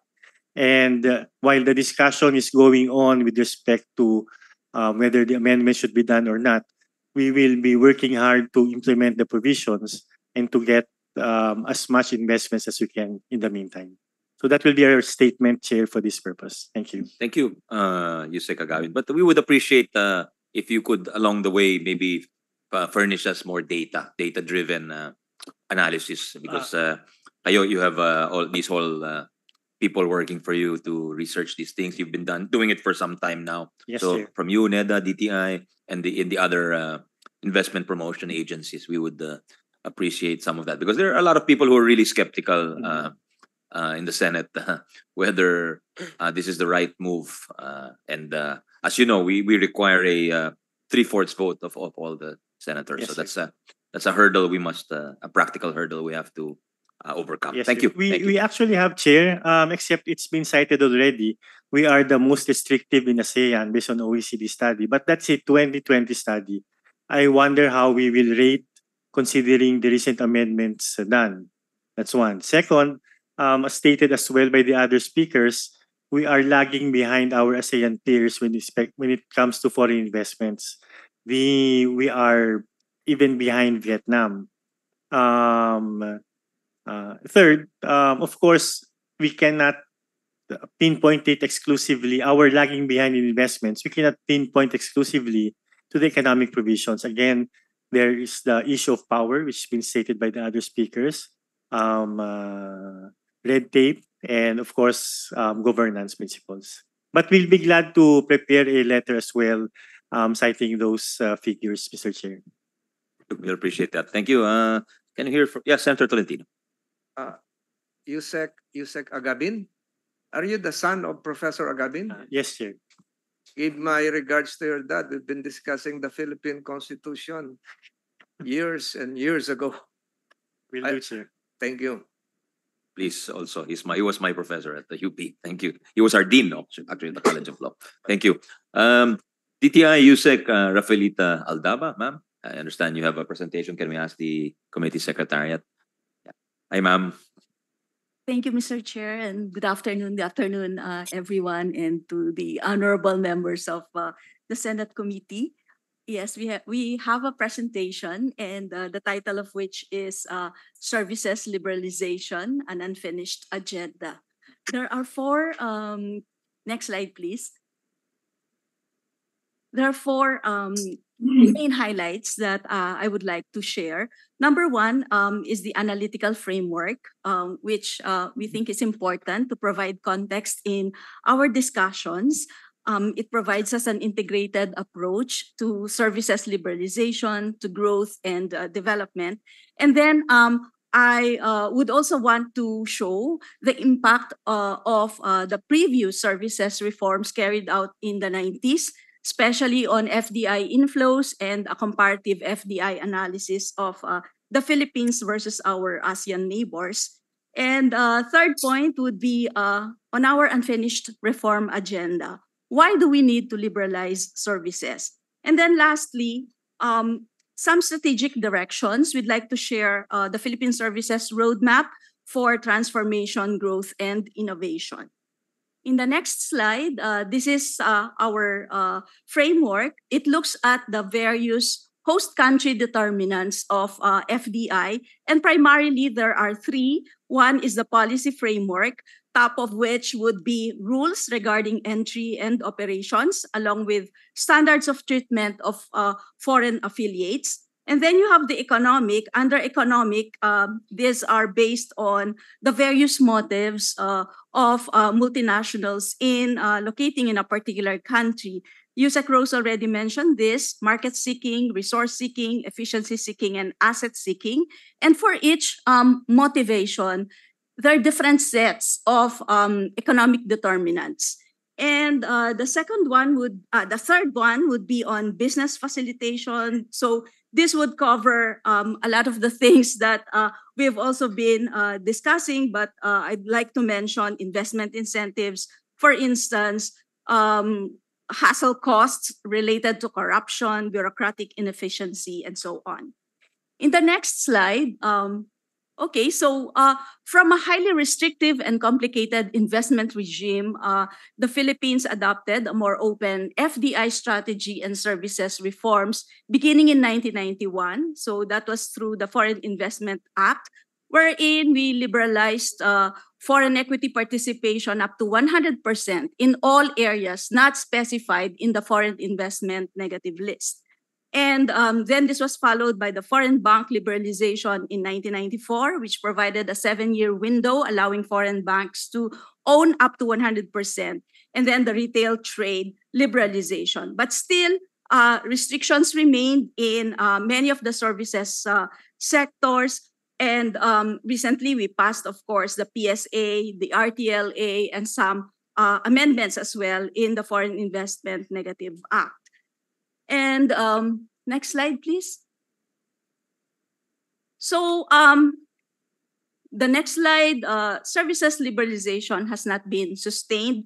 Um, still, we have all these uh, restrictions. No foreign equity is allowed in mass media, practice of all professions, cooperatives, small-scale mining, utilization of marine resources, uh, including ownership, operation of cockpits, and then manufacture and repair stockpiling of nuclear weapons, biological, chemical, and radiological weapons, and the manufacture of firecrackers and pyrotechnic devices. Um, up to one, up to 25% is allowed uh, for private recruitment, 30% for advertising, and only up to 40% for the procurement of infrastructure projects, exploration, development, and utilization of natural resources, land ownership, operation of public utilities, educational institutions, culture, production, milling, processing, trading, except retailing of rice and corn, and so on. In the next slide, so uh, with all the with all the uh, reforms carried out initially, as you can see on the slide, um, this has uh, led to improvements in FDI flows, as you can see on the slide. And average annual change in our cumulative FDI inflows actually increased from 12% in the 90s to 86% in uh, the period 2000 to 2009. But this slowed down to 18% in 2010 to 2019. And on the average, FDI as percentage of GDP also went up from 0.47 in 1970 to 1989 to 1.5% in 1990 to, to 2009 and almost 2% in 2010 up to 2022. In the next slide, this gives us the structure of um, FDI inflows to the country. And um, as you can see, there are two charts. Uh, one is for 2010 to 2015, and the other one is from 2016 to 2022. And um, in both uh, periods, manufacturing consistently dominated the bulk of our FDI inflows. And um, if you recall, manufacturing has already been liberalized uh, except for a few sectors which were uh, which were mentioned earlier. But um, uh, th- there's been a slight reduction uh, from 29% in 2010 to 2015 to 28 uh, percent uh, during the during the period 2016 to 2022. But you can see some some changes, and in particular, higher FDI inflows are actually going to those sectors that we opened up. Like for instance, financial and insurance at 17.88%. And uh, this actually went up to 20% uh, during the uh, second period. And at the same time, uh, we also see uh, real estate at 14% share, um, and then wholesale and retail at 8%, water supply, sewerage 7%, mining at 5%, information and communication with 5%, and arts and entertainment at 5%. For the 2016 to 2022, we see a big increase in the share of electricity, gas, and steam, now with the share accounting for 22% of the total. And um, real estate actually fell to 8%. Information and communication also fell from 5 to 4. Arts and entertainment maintained its share at 5%. in the next slide, um, I think this was already pointed out earlier that um, while of course there have been inflows coming in, but uh, when we compare ourselves uh, with the performance of our neighbors, we see that uh, um, FDI uh, performance of the Philippines has been limited, and um, the, the the figures won't lie. And um, in particular, I'd like to point out that um, uh, if we compare Philippines and Vietnam, for instance, for the period 1990 to 1999, we have almost the same cumulative FDI stock at 12 billion USD for Philippines and 13 billion for Vietnam. In the succeeding periods, uh, Philippines went up to 16 during 2000 to 2009, while Vietnam substantially jumped to 36 billion. And um, in the more recent period from 2010 to 2019, Philippines went up from 16 to 45, Vietnam from 36 to 112 billion US dollars. And um, in the next slide, I'm also utilizing the same tool, which has uh, already been mentioned, and this is the OECD FDI Regulatory Restrictiveness Index. So it's from, uh, it's a, a measurement from zero to one, and the lower the figure, the the more uh, open the country is, and the higher it is, the closer it, the figure is to one, the more restrictive the country um, is. In the next slide, um, again, this was already shown earlier, so uh, I'm uh, going to skip it. I, I, I just say that uh, we, the Philippines, and uh, together with Indonesia, Thailand, and Malaysia, we are among the most restrictive countries uh, uh, with respect to uh, FDI. And um, now let me go deeper. Um, next slide, please. In in this uh, in this uh, slide, we look at FDI restrictions in ASEAN, and as you can see, primarily um, these are high in services as well as in primary sectors. Um, manufacturing, as you can see, is already uh, uh, has very low uh, FDI restrictions, both in the OECD countries as well as in ASEAN.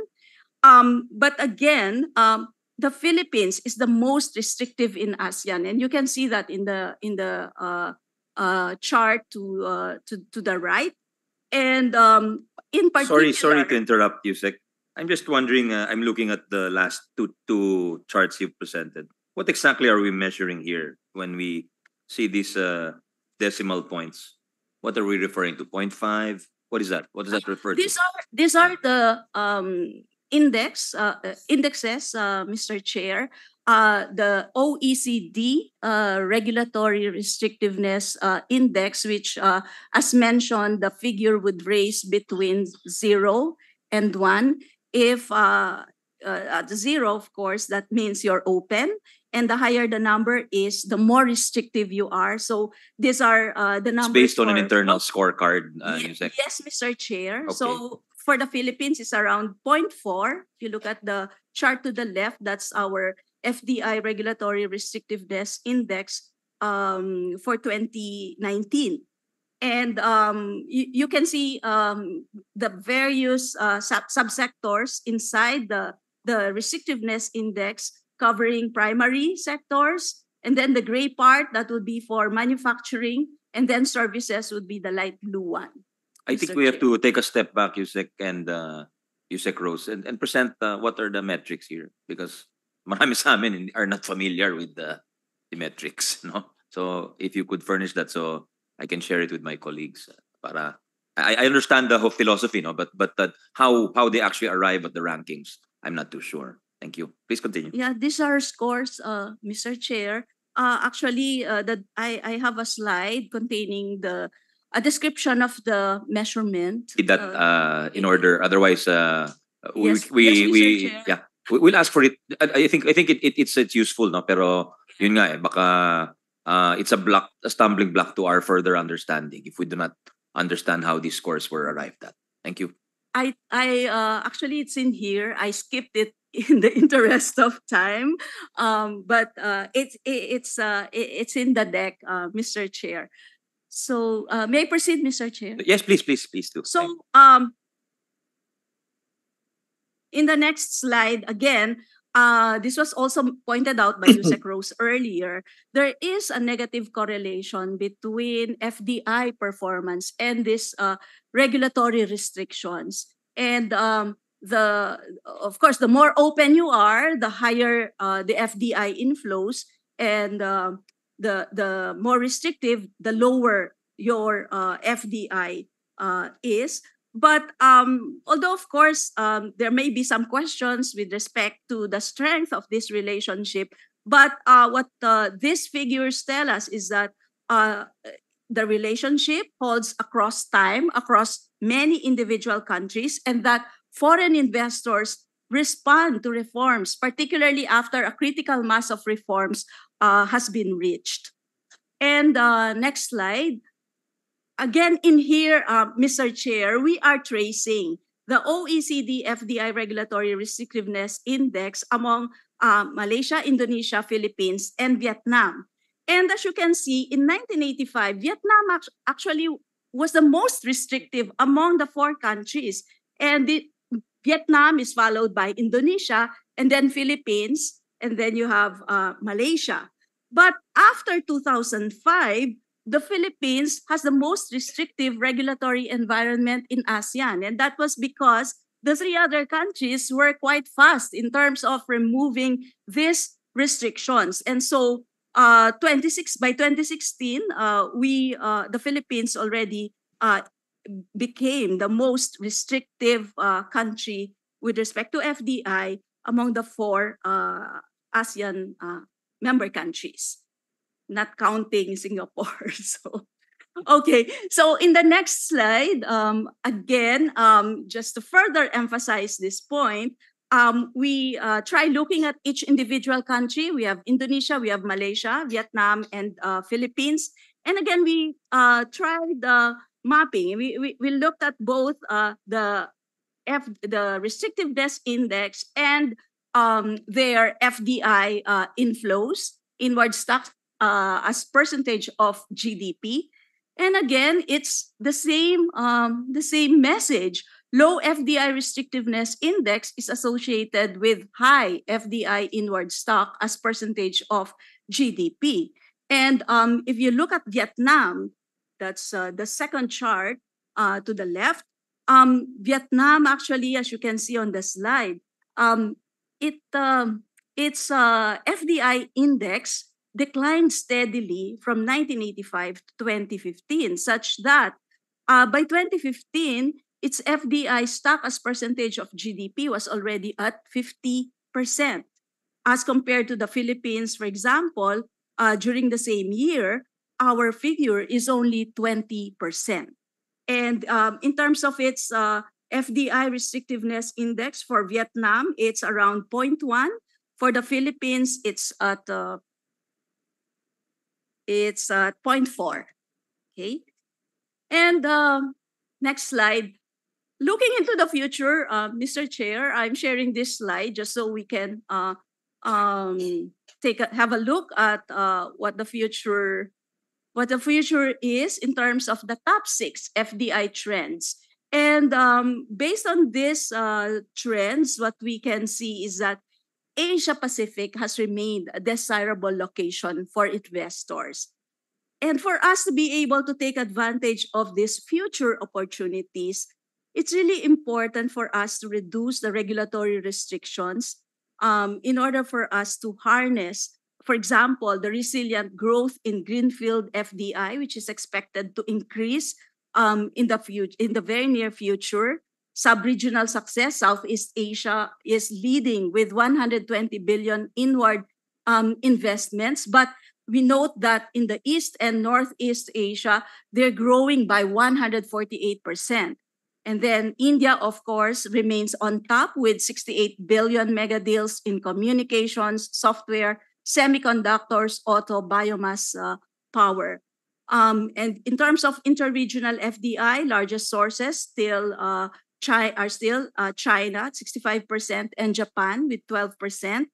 Magnetism of metals, and the Philippines has uh, a lot of minerals. Uh, and then this is actually second after renewable energy. And invest- investors' choice, it's still Asia Pacific for talent, for our talent pool, technology, innovation ecosystems, and industry clusters over uh, tra- the traditional cost uh, considerations. And um, in the next slide, um, I would also want to highlight that FDI in renewables uh, are expected to increase in the wake of the liberalization of FDI ownership restrictions. And uh, we already uh, covered um, the, the reforms earlier. And let me also point out the investments made by Copenhagen Infrastructure Partners, which was the first foreign investor to be awarded 100% ownership rights in offshore wind. Um, they invested in three wind farms with total capacity of 2 gigawatts, generating 4,500 jobs, along with power for 1 million households. And let me also note that uh, uh, based on our discussions with the embassy, they are also going to manufacture the turbines and the other um, uh, the other equipment needed for uh, their offshore uh, wind uh, investments. There were also nine Chinese companies, uh, including state-owned China General Nuclear Power Group and wind turbine manufacturer Mingyang Wind Power, uh, that pledged to invest 13.7 billion US dollars in renewable energy, energy storage systems, and off-grid power systems. Now, in the next slide, this is the, the smile curve of music, of Yusek Rose uh, earlier. And as you can see, um, the value addition, the vertical, that vertical axis is measuring value added, Mr. Chair. And um, what uh, the, the main message here is that value addition and potential profits are greatest in services as compared to manufacturing. Manufacturing is that one um, at the bottom. And um, uh, these are highest, value added is, high, is the hi- highest in R&D services, in innovation, in design, marketing, branding, and um, after sales services. And in order for us to maximize our economic gains uh, that would arise from uh, potential liberalization of the services sector, we need to invest in the high value stages of the supply chain apart from manufacturing. And we need to create, to do that, we need to create an environment where companies can move up the value chain. We need investments in education, in infrastructure, and innovation ecosystems. In the next slide, um, um, I'm not sure whether this has been mentioned by the other speakers, but while services account for 60% of our GDP and 57% of total employment, in terms of labor productivity, um, this has remained low. And this is evident from the slide. It's low, not only in comparison with other sectors in our internal, in our domestic economy, but even if, if we compare it with other uh, uh, countries, Malaysia, Thailand, Indonesia, we're still behind. We're uh, slightly above Vietnam and Cambodia in terms of our services labor productivity. And um, in the next slide, uh, let me also uh, highlight this, Mr. Chair. Um, in the more than 47 or in the more than 40 roadmaps that uh, we formulated together with the private sector, um, the 60-40% foreign equity rule has been mentioned as one of the most binding constraints to growth. Next slide. So um, why do we need to liberalize um, services? Like what I've said, we need to complete uh, completing the uh, lib- services liberalization would be crucial. Services is key for growth, competitiveness, and jobs. And opening services, uh, FDI, can boost productivity across economic sectors and benefit um, micro, small, and medium enterprises in particular. In the next slide, um, this is our vision uh, for uh, the services industry. We want to grow more globally competitive and innovative services sector that would create more quality jobs, move up the value chain, and enable our structural uh, transformation. The strategic actions are um, the following. Um, we need uh, human capital development and infrastructure support, and crucial here would be investments in education and training, technological and digital, physical, as well as legal infrastructure. Um, trade, investment, and industrial policy that would promote services that harness global value chain potentials. And the Tatak Pinoy strategy would play a crucial role in uh, achieving this, Mr. Chair. Supply chain integration of services, manufacturing, and agriculture.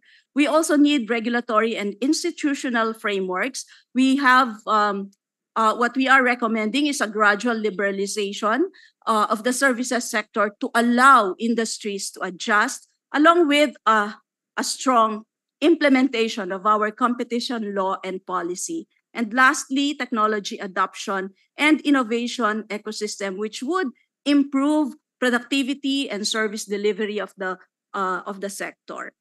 In the next slide, we also identified the various uh, uh, activities um, that are needed in uh, building our infrastructure ecosystem to promote the services sector, given that it is the glue that binds together our economic sectors. Um, I wouldn't mention uh, all of this, uh, Mr. Chair, but uh, suffice it to say that we have we have a plan and we have identified where investments uh, would be crucial in order for us to successfully achieve our goals and vision uh, for the industry. And um, in the next slide, we've also uh, highlighted those services sectors where uh, the Philippines has both revealed and potential comparative advantage. Number one, of course, we have a pool of skilled, semi-skilled, highly skilled uh, workers, which are our main source of strength and the drivers of our services exports. We have um, the IT BPM, IC design, business services, the creative, R&D, ship repair, infra services, energy, uh, and so on. And let me end, Mr. Chair, um, in the next slide, please, by uh, uh, quoting our uh, Secretary, Fred Pascual, DTI stands with a call to amend the, the economic provisions of the 1987 Philippine Constitution. This is not a call for relinquishing our national interests, but rather a strategy to align with the inevitable global economic currents. It is a call for practicality, openness, and strategic action to empower the Philippine economy to reach its full potential. Maraming salamat po, Mr. Chair. Thank you. That's a very good presentation on the part of uh, DTI. Thank you. Uh, my bladder is telling me that uh, we've gone over three hours straight. So if we could, uh, Justice, yes, uh, then we'll have a five-minute break. Uh, go ahead, uh, Justice. Just a comment, uh, Mrs. Chair. Uh, I do not think we have to change a single word word of the Constitution to open up our services industry. Thank you. Thank you. Uh, uh, Yusek Fita will just ask for more information on. You said that when you were uh, conducting your 40 or so roadmaps for industries, you many cited the constitutional provisions as binding constraints. Could we ask for more details on that later on? Thank you. Uh, the chair will just call a five minute break with the permission, Risa, because uh, we've gone over three hours uh, without a break. So it's a five minute health break. Thank you, Your. Yes, uh, Mr. Payne, yeah, you wanted to say something? Uh, just a very brief comment. Uh, I think we focus a lot on the volume of FDR. It- We should never forget that the other two parts are competition, which make us internationally competitive, and secondly, innovation. We need to innovate constantly to stay internationally competitive and indeed for our citizens to benefit what is internationally.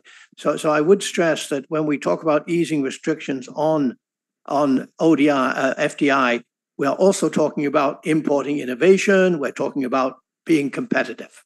Thank you. Yes, thank you. And I would add to that uh, uh, to our economic team. Maybe we could plot the graphs of uh, GDP per capita because I think that's that's uh, that rather than just the, volume of foreign direct investment, it, it's the actual impact on uh, incomes and maybe employment. If you have uh, graphs that you could plot against the FDI and the because you know you you you've said that uh, Thailand and Malaysia are among and the Philippines are among the most restrictive uh, in terms of foreign direct investment, but we we're lagging behind those countries in terms of incomes. You know, Vietnam is more open, but we're more aligned to them in terms of incomes. So so there's a, there's some somewhat of a disconnect there. I think we need to see more data to to complete the picture. You know, like like why is Malaysia much higher uh, than us. Of course, uh, the answer is probably you know we suspect it's because they they have better and stronger and more competitive local industries. No, that's why we're pushing uh, for Tatak Pinoy. But I think we need the empirical data to support the assertions. Thank you. I will come back in five minutes.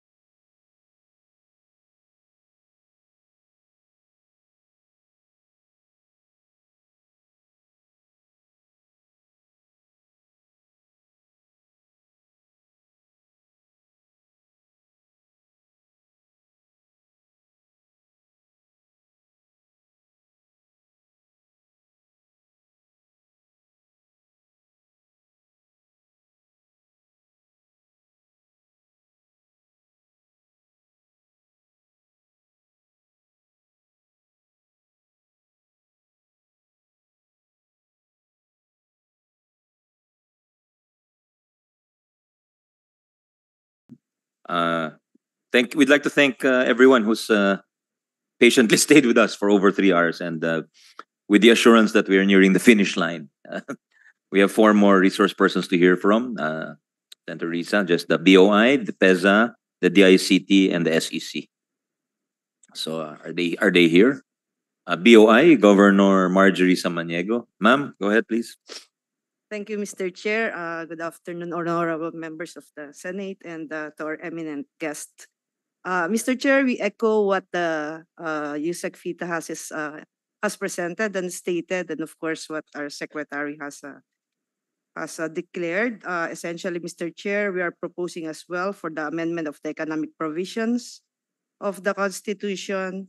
And the approach, Mr. Chairman, is similar to what was proposed under the resolution of both houses, entitled Resolution of Both Houses Proposing Amendments to Certain Economic Provisions of the 1987 uh, Constitution, thereby uh, this would not be a self-executing uh, provision, but will require another enabling law for purposes of uh, the opening up of the sector, Mr. Chairman.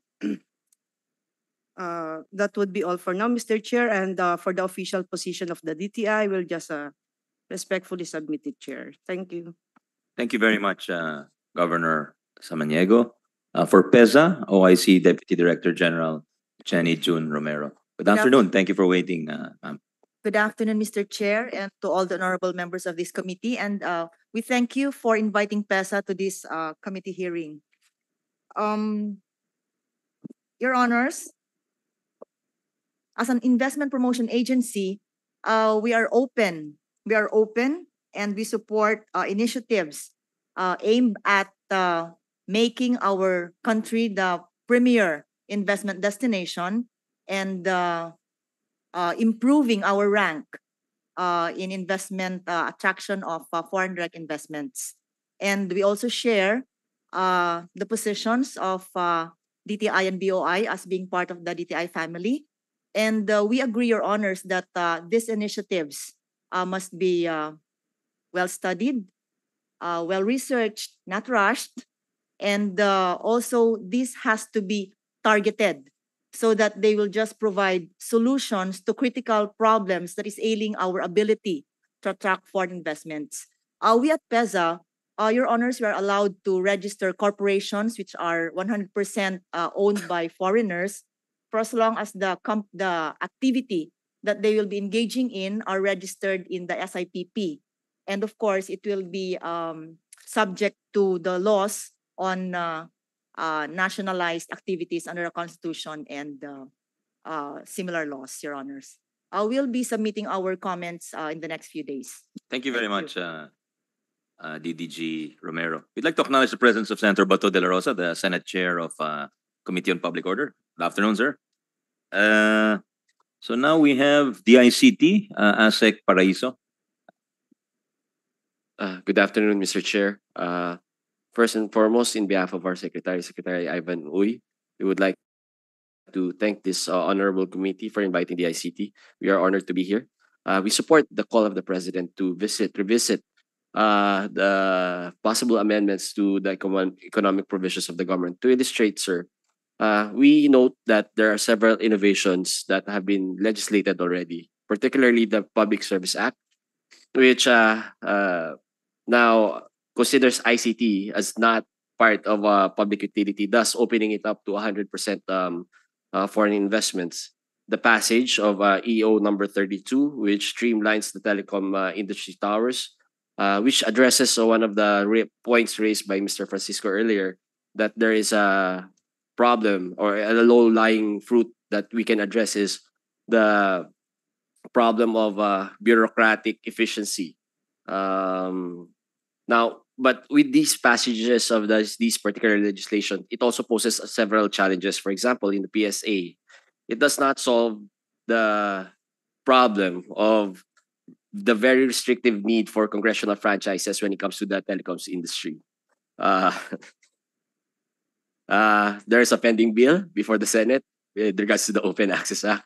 I know this is a very, very uh, contentious uh, uh, requirement, and uh, you know, uh, which can be probably which would probably aid in our deliberations when it comes to constitutional amendments, sir. Also, when it comes to um, while government needs vital infrastructures to improve connectivity and digitalization, uh, there's also a need to liberalize or revisit the provisions of the public procurement law because it's very restrictive when it comes to the ICT industry. Um, a very good point raised by um, uh, Chairman Aguinaldo earlier was results can only uh, would be best indi- the best indications of a law whether a law is effective or not would be the results. But since the PSA and EO number 32 are very very new laws, uh, it is you know it is very inefficient or it's not right to judge the law's efficiency uh, at this point in time. But I guess it's an improvement since uh, based on the latest uh, reports of the BOI, the ICT industry is probably top two in the FDIs that uh, have uh, come into the country. Um, if the goal is for investments, I pro- we guess that the law is efficient. It's probably working, but if the goal is to improve the lives of the Filipinos, it remains to be seen, uh, Mr. Chair and members of the, the committee. But for sure, this is this, this one thing is for sure we can do better. So uh, at least on the part of the ICT industry. So with that, Mr. Chair, we thank you, sir. I want to clarify, you're saying uh, the improve uh, changing the constitution, uh, the, the positive effects remain to be seen on the on for the for the Filipino people. No, sir. Uh, with regards to Yeah, the, just, just want to the- clarify that remark. Yeah. yes, sir. The passage of the legislations, particularly the PSA, because it's a fairly new law, sir. Uh, again, um, uh, see muna tayo. It's it's uh, not not definite if there it will result in benefits. Is what is your point? yes, Mr. Okay, Chair. Thank got you, it, Mr. got Chair. it. Thank you, thank you, thank you, Asek Paraiso. Uh, can we hear from Attorney Gerardo Del Rosario from the SEC or Securities Exchange Commission? Attorney. A pleasant good afternoon, Mr. Chair and the member of the committee. Uh, first of all, I would like to uh, say thank you for inviting the SEC in to join this conference in this meeting. Uh, from the viewpoint of company registration, Mr. Chair, uh, the amendments to the Foreign Investment Act, uh, the amendments to the negative list, as well as the uh, amendment to the Public Service Act is a welcome development for the SEC. We will be implementing the laws that will be passed by the Congress. Uh, we're open to the, we're happy that our economy is being opened because we're be giving a opportunity to the foreigners to provide investment in the Philippines and it's equivalent to uh, employment opportunity for our kababayans. And uh, Mr. Chair, I would like to emphasize the what Mr. Uh, Francisco uh, said a while ago that uh, there's a need for a lot of signature in the SEC. Uh, registration bears no more signature uh, 90, 90, 93% of our registration bears no signature by the director. The only remaining uh, with signature, which which only one signature is the signature for the uh, approval of partnership and uh, branch offices. Thank you, Mr. Chair. Uh, commendable on the part of the SEC. Uh, pero you, you, you still need the signatures to file the, the compliance requirements, ba? Yes, Chair. In Oh. fact, uh, we will be launching a project which is a so-called uh, credentialing. So how fast can you form a uh, juridical body or a corporation Well, nowadays? sir, we have a so-called one Yeah. sec, one day. One day, one, One day. day Kaya, kaya na. Okay. That's because of the new corporation code, di ba? Yes, sir. But uh, siyempre po may konting uh, restriction. Hindi naman restriction, but uh, we can only cater to 100% Filipino Right. company. Right. Uh, the basic corporations, yung holdings, Okay. manufacturing. Anong requirement nyo pag 60-40? Pag may foreign uh, ownership, what is the compliance or regulatory requirement there? Nothing, sir. Nothing, Just just, the the filing of signature the of the- articles of incorporation. Yes, sir. Okay. All right, that's good. Thank you. Thank you. Um, that's it for our resource persons. Uh, I'll turn it over to my colleagues for their questions. Senator Risa, thank you for waiting patiently. Uh, you have 10 minutes, then Senator Bato afterwards, if you wishes. Yeah. Go ahead, ma'am. Salamat, uh, Mr. Chair. So I think some of our resource persons uh, took the uh, health break as a permanent break. Speaking of Go- which, actually, go ahead, Mr. Risa. my So we were, we're, well, we still have very good resource persons here Opo. in the person of our uh, uh, economic agencies. Go ahead, ma'am. Definitely. Thank you so much, Mr. Chair. Actually, yung una kong uh, tanong sana kay uh, Justice Carpio, but maybe for the next hearing if uh, if he will be with us. If you can send him your questions, ma'am, or if you wish, if you wish. Yeah. Salamat, Chair. Um, siguro, uh, on the legitimacy of the need for RBH 6, uh, I was going to ask this to uh, Sec Balisacan, but after hearing the presentation of Dr. Angeles, sir, if I could ask uh, this question of you. Uh, in 2019, uh, a deputy ombudsman said that, uh, estimated that uh, we lose 700 billion pesos or 20% uh, of government's budget to uh, what what are stolen no, from from the coffers of, of government of the country due to corruption. And based on the Corruption Perceptions Index, we're still in the top third, uh, the Philippines, uh, of the most corrupt countries in the world. And in many other studies on corruption, uh, that corruption is still uh, a big deterrent on foreign direct investment. So, hindi kaya mas importanteng pagtuunan ito ng pansin, combating uh, corruption, uh, even uh, more than uh, amending the Constitution? Um, thank you for that question, ma'am. Um, I perhaps, um, rather, perhaps one can take note of the studies that uh, Yusek Edilion and I think um, also Professor uh, Fabella and uh, their colleagues drafted. Um, I suppose one way of thinking of it is uh, we need not, uh, we can walk and chew gum at the same time. We can address both at the same time. Um, and uh, I believe the studies also show that uh, removing these restrictions, ceteris paribus, is also beneficial. Certainly, addressing the corrupt, um, corruption, red tape, and so on are also going to be beneficial. Thank you, uh, Dr. Angeles. Salamat. Salamat po. Uh, Mr. Chair, moving on to, uh, if I may, although it's uh, it's not the specific subject of RBH 6, not one of the, pero I think there are lessons we can learn from just uh, a few questions about energy generation and distribution. Sige. Uh, so since uh, uh, Yusek Rosemarie is here with us, ma'am, if you could uh, field these questions uh, or, or refer to one of your colleagues from NEDA uh, for these. Uh, in the energy transmission and distribution sector uh, for electricity, uh, 40% is owned by the State Grid Corporation of China. And our Senate Committee on Energy uh, learned that uh, they have a veto power because of this 40% ownership uh, in the NGCP. Same goes for Meralco, 43% um, is owned uh, by foreign interests. So, and we know that um, uh, Meralco and NGCP are not lacking for profits, and uh, these profits can be invested so that we don't anymore suffer uh, the blackouts also mentioned by our resource persons recently on Panay Island, uh, on Guimaras Island as well, before that uh, on Mindoro Island. Um, and so that uh, we can modernize uh, our grid and uh, make it even more ready and capable for the entry of renewable energy supplies uh, in the coming years. So, mas bibilis po ba yung pagbagsak ng presyo ng kuryente? Mas maaasahan ba natin yung pagkakaroon ng no blackout, uh, renewable energy ready na grid at saka distribution system? At mas titibay din ba tayo laban sa mga cyber threats? Uh, kung mas maraming dayuhan ang magpapasok ng kapital o kung yung China State Grid Corporation mismo at yung Salim Group ang magiging controlling shareholder sa dalawang kumpanyang iyon, NGCP at saka Meralco. Uh, yeah, Madam Chair, I'm not an engineer, so.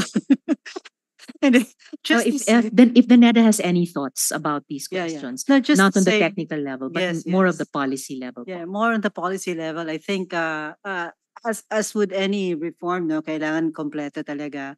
Uh, so with respect to the reform in the in the power sector, uh, what we have been uh, pushing for as well is uh, improve the capacity of the ERC, the Energy Regulatory Commission, kasi sila yung dapat na nagsa-safeguard ng uh, ng ating ano ng ating interest. At the same time, kung kung sa ano naman, kung sa uh, sa ICT, so it's your NTC. And this is also why we also mentioned that uh, uh, as as we're going digital, we really need to beef up our capacity to do cybersecurity, and a, and uh, a big part of that is really our human resource. So kailangan nating mag-produce ng more than halos 200,000 dapat na license na cybersecurity of which we only have less than 200 I I believe.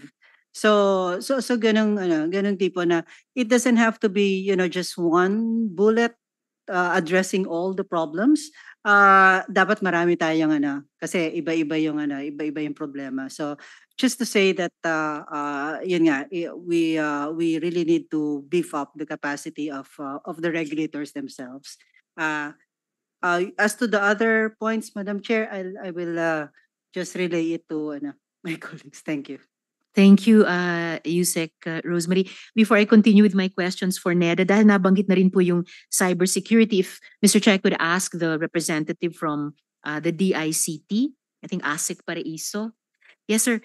Uh, ngayon pa lang po, um, so many vulnerabilities uh, are emerging as to our cybersecurity. Uh, witness the, the recent cyber attacks.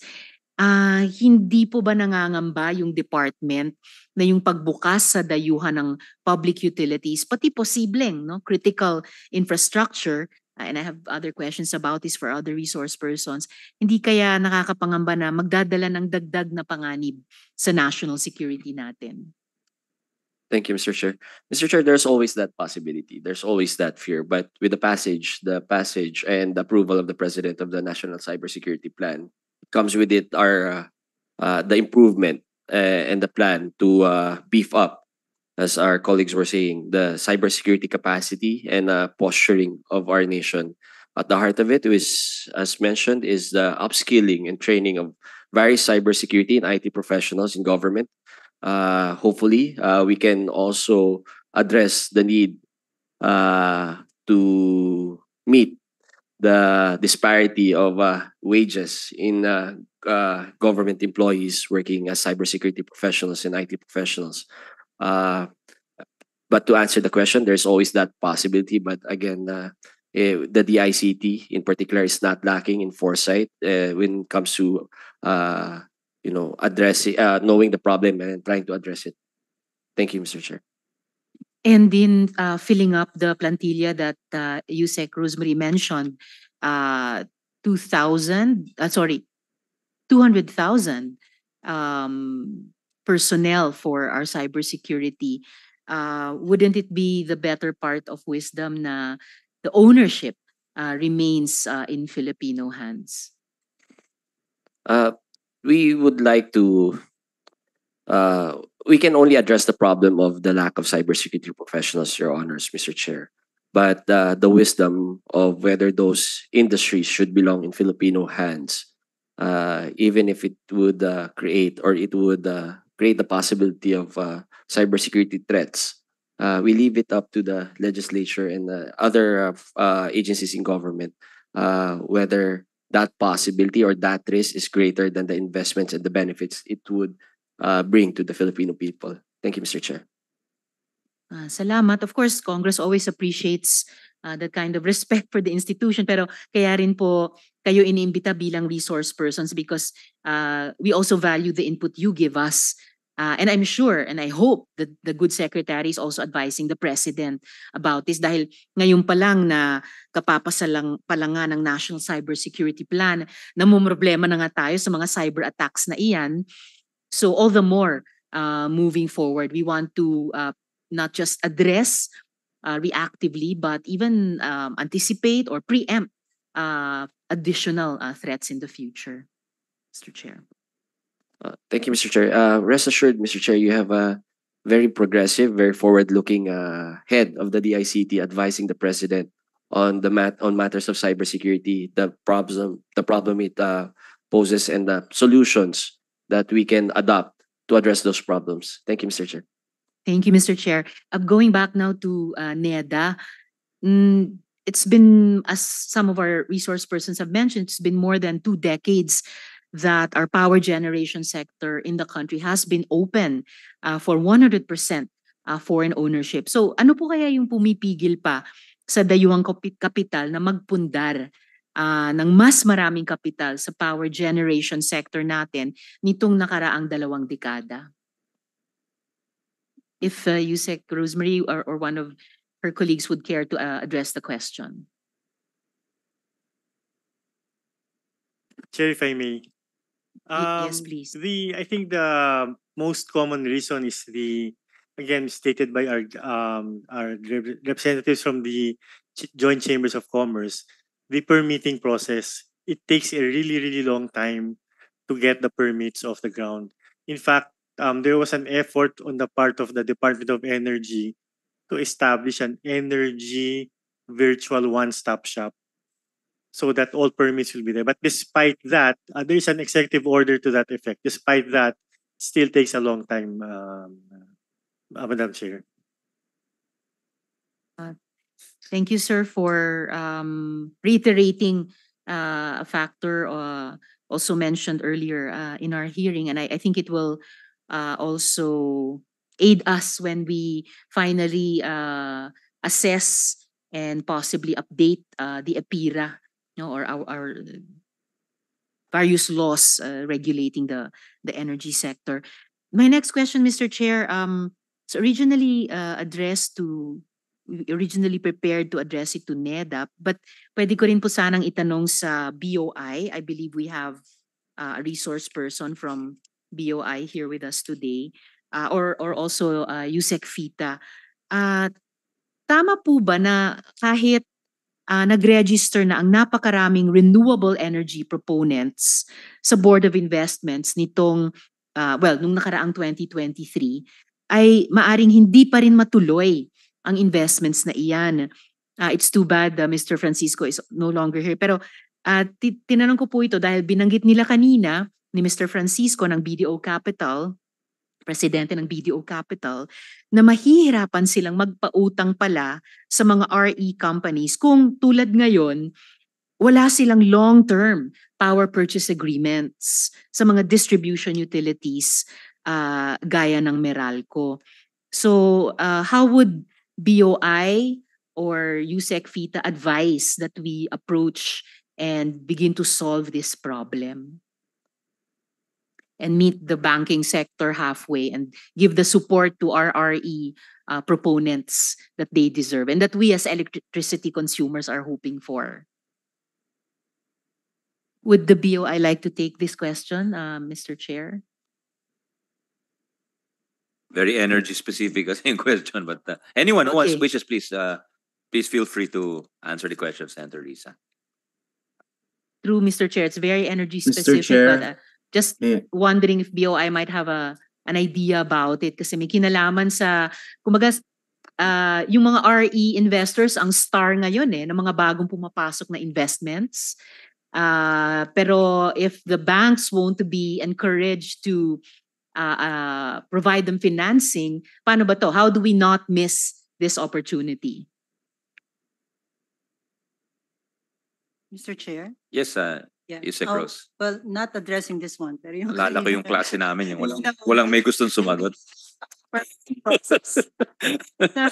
So just to say na yung yung uh, just to add to the uh, the problem of the permitting process, it's also related to the capacity of the ERC kasi isa sila sa bottleneck talaga eh, yung pag-approve ng mga proposals for this uh, power plant uh, projects. So it, it really has uh, especially you know as uh, the economy grows uh dadami ng dadami itong mga ganitong proposals and so we really need to ano beef up the capacity of ERC. Yun lang po Mr. Chair. Thank you. Sorry with uh, with your indulgence, uh, Risa.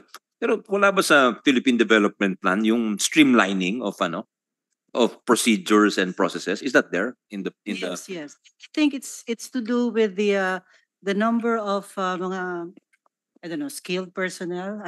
I may be And uh, also over sa. PISAC sana, sa private sa private sector advisory council kasi I know they they meet directly with the president eh, and then a lot of their recommendations have been already implemented or in the process of implementation like NAIA etc.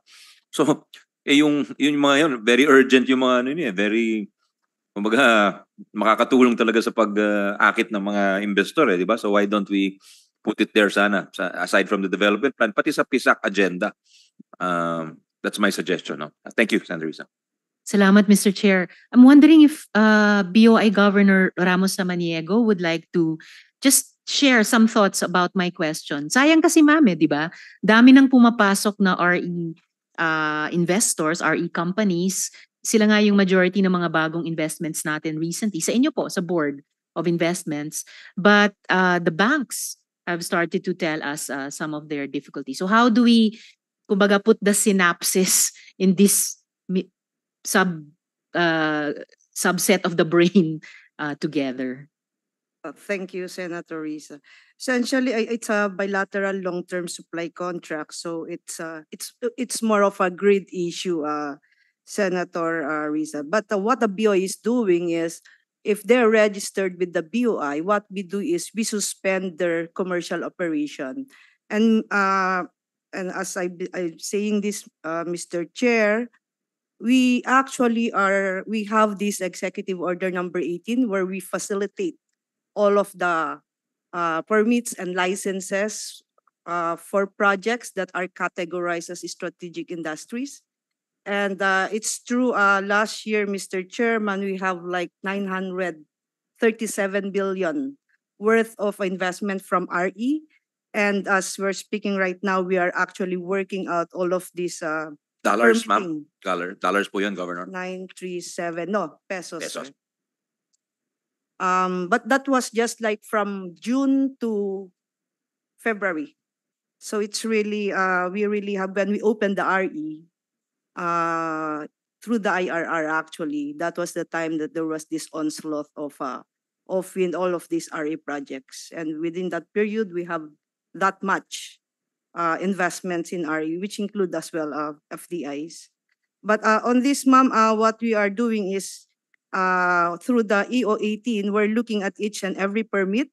And we're looking at all of these, uh, um, areas of concern para i-address. Normally, ma'am, if, uh, but this long-term power supply agreement is, is bilateral in nature. So what we could do is we can just encourage, uh, the parties on how we're- can unbundle this issue, uh, Madam Senator. It's more of a grid issue. Uh, right now, we have also in our recent meeting, uh, also with the EVOSS, that's the one that, uh, there's this energy, um, online one-stop shop as well. We also met with NGCP, where we are now made aware that, uh, the, all the queues on this, all of this, uh, queuing would now be done by sometime April. So all of this, ma'am, uh, tinitignan na po namin isa-isa through the EO 18, all of these issues and concerns on how, or on how we can facilitate the operation actually, not just permitting, but uh, uh, eventually the, the commercial operation of the projects, uh, Mr. Chairman. Thank you. Maraming salamat din, um, Attorney Governor Ramos uh, Samaniego. And, o- and of course, Mr. Chair, I also listened to what uh, Yusek uh, Rosemary has repeatedly said na importante din yung papel ng ERC at yung pag uh, uh, upgrade ng capacity niya also to facilitate uh, these essential connections like the long-term power purchase agreements. Mr. Chair, I think Yusek Rosemary is raising her hand to interject. Yes, Yusek Rose. Before you answer, Yusek Rose, I might forget eh. I wanted to ask this ka- kanina ko pa gustong uh, hingin. Kasi nag nag-release ng uh, PR ang uh, PCOO kahapon na 12 billion it dollars or pesos um, of the pledges have materialized. So could I get details on that, please? Uh, because that's a very impressive number. Uh, we'd like to know the details. Uh, what industries, what corporations, uh, etc. and so forth. So if since we will take advantage of your presence to request that, please, uh, for, before the next hearing. Thank you. The next hearing is next week. Uh, thank you. Thank you, Senrisa.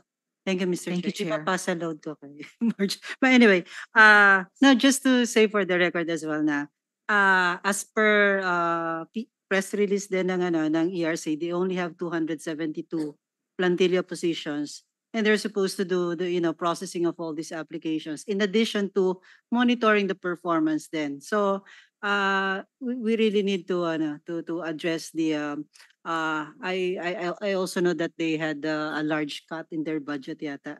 So, yeah, so it has to be, like I said, a system-wide uh, uh, approach for this one. Thank you, Mr. Chair. Mr. Chair, uh, the, the chair happens to be also the chair of our uh, co- committee that uh, passes the budget. Uh, But I don't, I don't year handle and, uh, ERC. It's Senator Gatchalian Ah, that, that's true, Mr. ERC. Although I, Nung sinabi yun, nag-walk out yung staff ni Senator Gatchalian. Hindi, joke lang, joke lang. baka pinatawag ko, baka pinatawag. In fact, I remember, Mr. Chair, that the committee, uh, as led by the the vice chair, uh, Sen Sherwin, and this representation, we restored uh, the budget uh, of the ERC. So what you Yusek Rosemarie has been saying, uh, we'll, we'll find support. We'll continue to find support here uh, in the Senate for I the think what uh, se- uh, capacity. traditionally Senator Gatchalian, who's been handling the subcommittee of the Committee on Finance, handling the energy uh, agencies, he just juggles it. He doesn't. In fact, he adds to it. Uh, but but he he sees he he realigns the budget where he sees fit. So he if he sees if he thinks uh, he doesn't take it out of the DOE family is what I'm trying to say. No, just in his defense. Kasi wala po siya rito. So And I Go ahead. confirm that, Mr. Chair. Uh, so just a, a last question for for NEDA on uh, on the uh, energy generation and uh, distribution. So kasi nga napakaseryosong usapin po itong supply ng kuryente. Kung wala to, of course, wala ang manufacturing sector na inaasahang magbibigay ng empleo sa mga mawawala ng trabaho sa sektor ng agrikultura na patuloy na gumagamit na ng mga makina alam na ng mga bansang gaya ng Vietnam, which we've been talking about a lot, na ang susi para pumasok ang foreign investors sa manufacturing sector ay ang supply ng mura, sapat at maasahang kuryente. So, given these uh, so far, uh, Yusek Rosemary, hindi kaya ang pag-amyenda sa EPIRA law ang uh, dapat nating inaatupag sa halip na ang chacha? Any thought on that, ma'am? Yeah, Madam Chair, I have to uh, beg your indulgence and uh, we'll just get back to you. Uh, I- I'll, ano, I'll ask my uh, colleague to uh, uh, give his comment on that. Thank you. Your colleague, ma'am, meaning uh, Director General Balisacan. Uh, yeah, and Yusek Dokoy. Yusek Kapuno. uh, Sen. Risa, what was the question? We we missed uh, the question. Oh. I was just wrapping up that napaka-importante yung mga usaping kuryente. So, hindi kaya amyendahan na lang natin yung EPIRA sa halip na amyendahan ng konstitusyon. Maybe the Philippine Development Plan even had some points about that. Comments there from the resource persons? She said that uh, the good USEC said she would uh, ask Director General Balisacan. Anything on the development plan regarding EPIRA? Or you take that as also as a initial condition? Yeah, yeah please uh, speak in the mic, Yusek Rose. It's in the legislative agenda. Meron ho doon? At- at Yes, to append, to amend EPIRA? Ah, okay. So we'll just ask for details maybe, uh, Sen. Thank you, Chair. It's good to know that it's on the LEDAC priority legislative agenda. Uh, at least probably two years before this whole idea of amending the constitution came up. Uh, Chair, I think Yusek Fita is also raising her hand. To yes, yes, interject. of course. Yusek Fita and anyone for that matter after her could could uh, offer a response. Go ahead, ma'am. Thank you, Mr. Chair and Senator Risa. Um, actually, I uh, wa- was raising my hand to go back to the PPA question that was uh, raised by Senator Risa a while ago. But I believe as well that we need to review um, the EPIRA. Um, th- there's so many things, so many developments that have transpired since the time it was passed, and uh, hence um, there have been uh, certain issues uh, that would merit uh, um, amendments to uh, the EPIRA. But um, Senator Risa, uh, Mr. Chair, on the PPAs, uh, of course, these are crucial for us to secure the financial viability of energy projects as they guarantee a market for the electricity generated and providing a steady revenue stream for uh, investors. However, there have been a lot of uh, challenges, as uh, earlier pointed out, and um, there's certain um, measures that uh, we need to uh, focus our efforts on, particularly in terms of strengthening our policy and regulatory frameworks. We need more uh, clear regulatory uh, guidelines and uh, incentives for RE would um, also be, uh,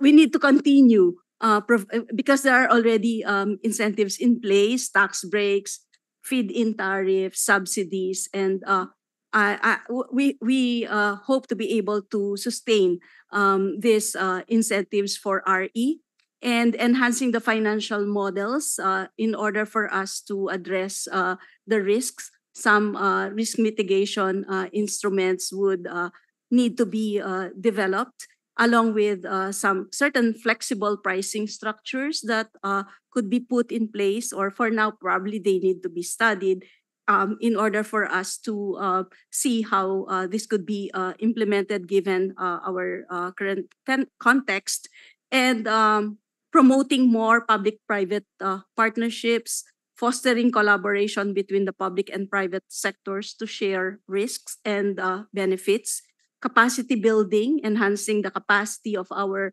LGUs um, and utilities to negotiate and manage PPAs, ensuring they are structured to attract uh, investors while serving public interests, and um, improving market access and infrastructure by way of um, developing or establishing grid infrastructure investments uh, that would ensure that the generated power can be effectively distributed and sold, um, and hence enhancing uh, the attractiveness of PPAs, and then also uh, open access policies and encouraging innovation and technology adoption. For instance, uh, the, the support for emerging technologies and digital platforms for PPA uh, transactions. And we have some startups, by the way, who are uh, already uh, creating these uh, digital platforms for electricity, Madam Chair.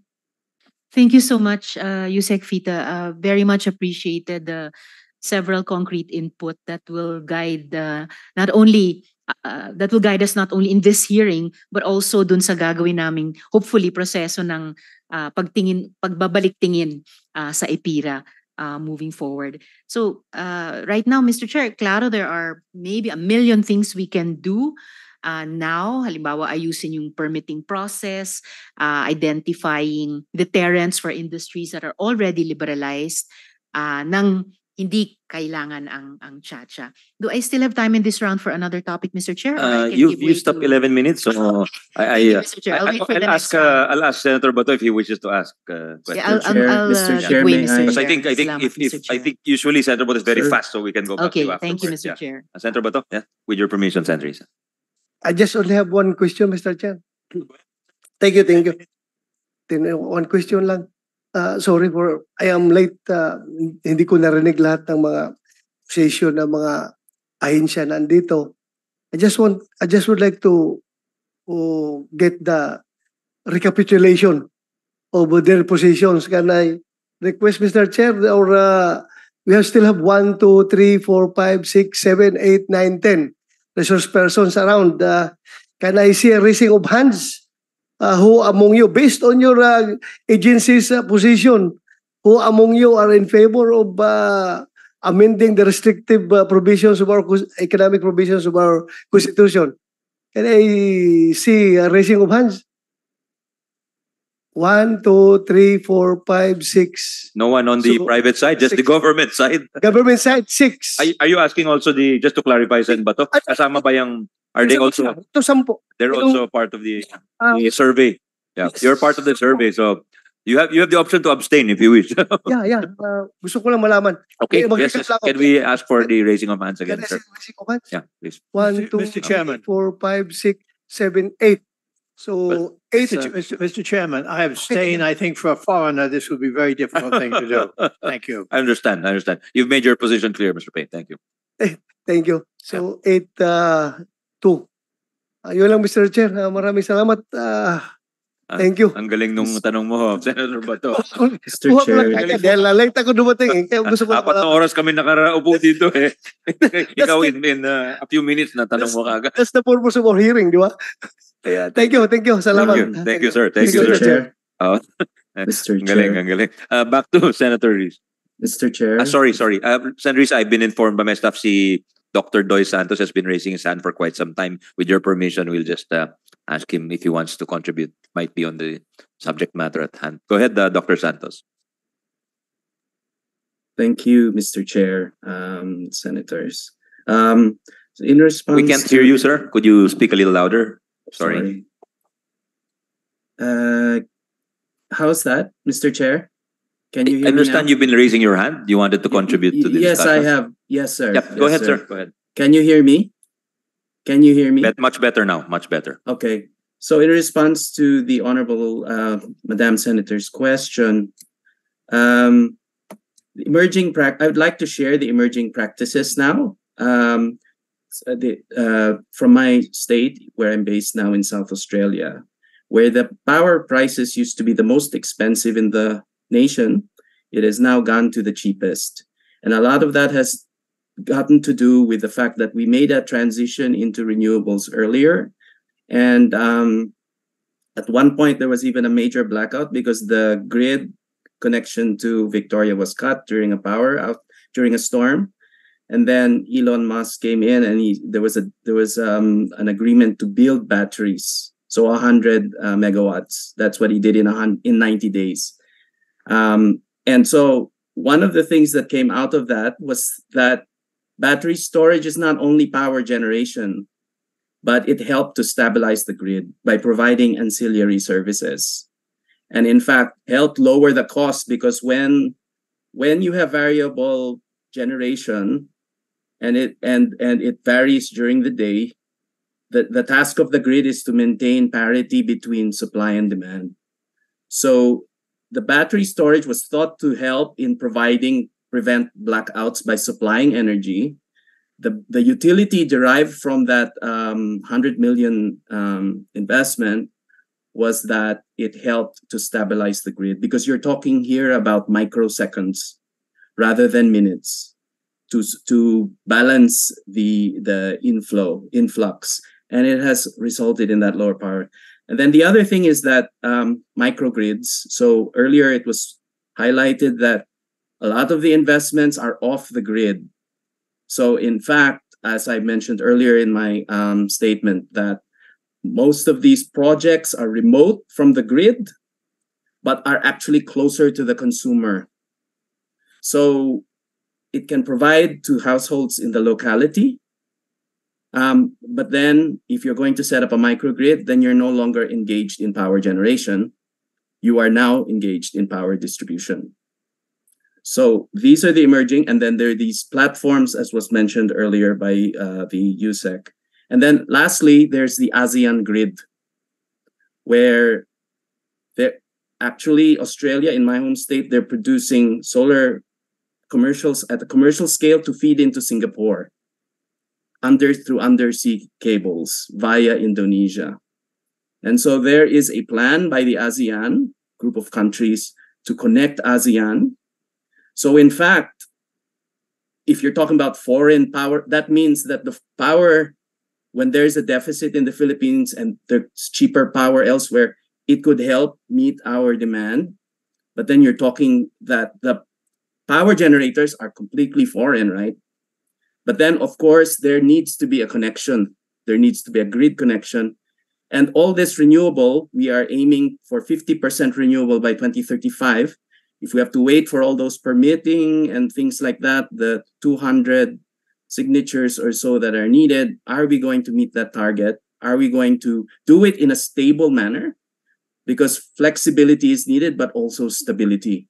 And so I submit, Mr. Chair, that the technical know-how, the capabilities, the innovation, for that to be diffused, it's all being, it's all happening in the major centers of powerhouses of the world. For that to diffuse to the Philippines, we need to be more open. And so if we were to just simply amend the PSA Act and include grid distribution and trans, how thin are we going to slice that provision?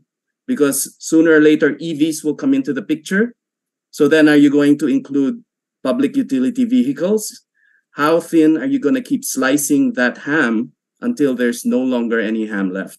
So it might be better, Mr. Chair, that we consider um, the proposal at hand that you have laid before the table through the RBH six. Thank you, Your Honors.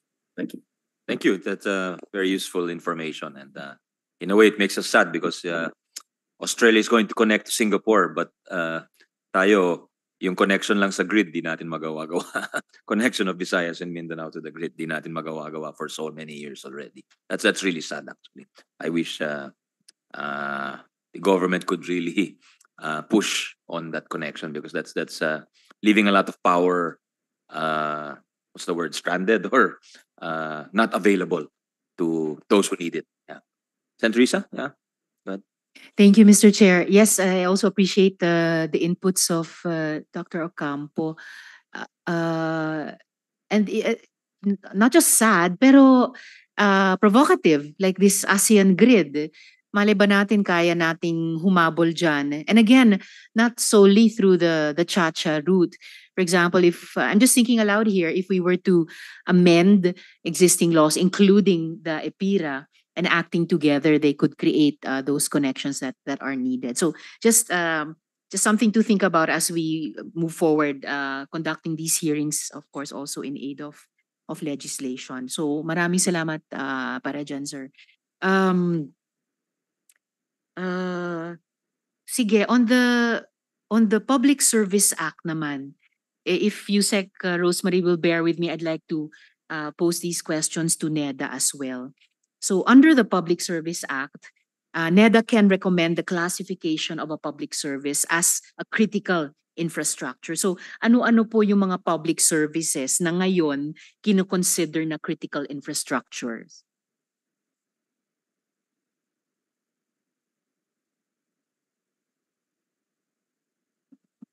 Yeah, Madam Chair. Uh, right now, we're just uh, looking at uh, uh, yeah, it's it's the telecoms industry that is still uh, in the identified in the law and in the IRR.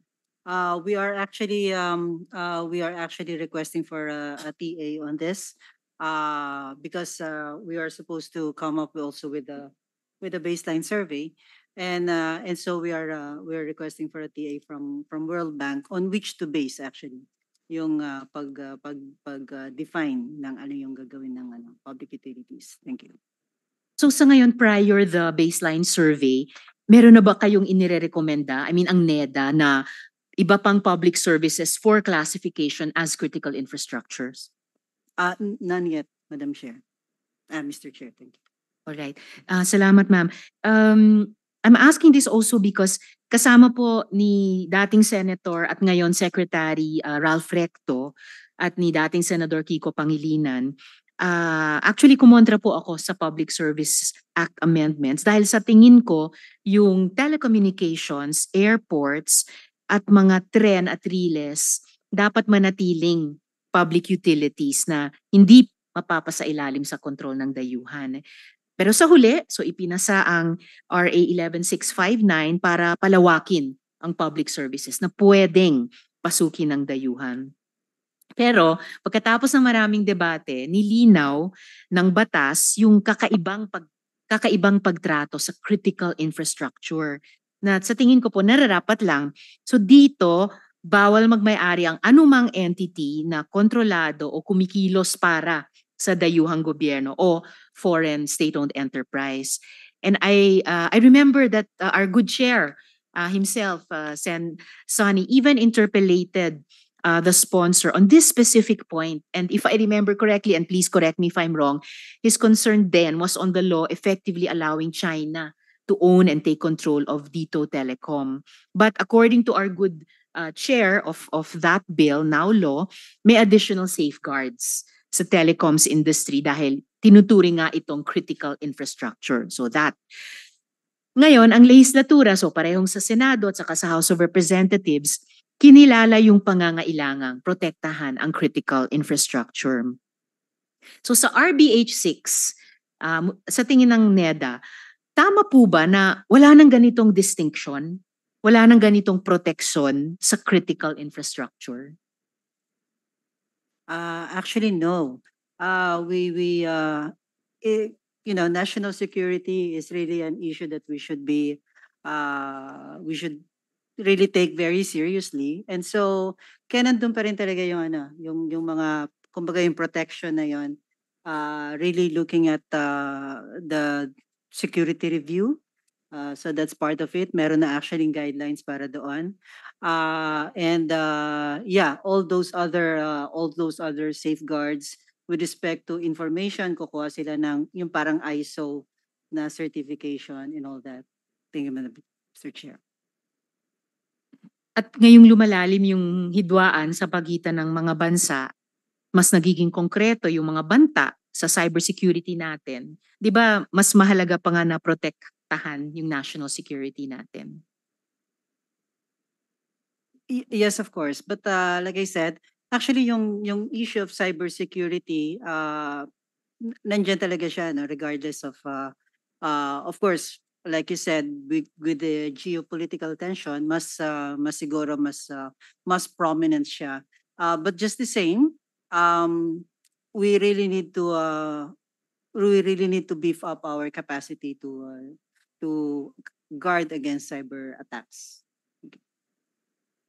Ah, salamat, Yusek. So I think one thing uh, that's affirmed to me dito sa recent exchange natin, kailangan uh, explicit, even for those who, who support RBH6, na merong pa ring pagkakaiba yung, uh, yung mga ituturing na critical infrastructure. Ah, hindi sila kapareho lang ng iba na pwede lang buksan sa 100% foreign ownership dahil nga critical infrastructure sila. So isang halimbawa lang before I, I leave this topic. Ah, napabalita na mayroon ng tatlong prospective winning bidders yung 170.6 billion peso ah, na iya privatization. Sa pagkakaalam ko, bo- all of the three bidders have foreign partners based on existing cap on foreign equity ownership. Pero sa amended Public Service Act natin ay ah, iniwan sa diskresyon ng Pangulo ng Pilipinas kung alin sa natitira pang public services ang itatalaga nito na critical infrastructure. So sa RBH 6 po ba, ah, nakikita nyo ba na may plano na nating itodo bukas sa foreign ownership ang lahat at alisin na ang naiwang discretion sa Pangulo sa bagay na ito?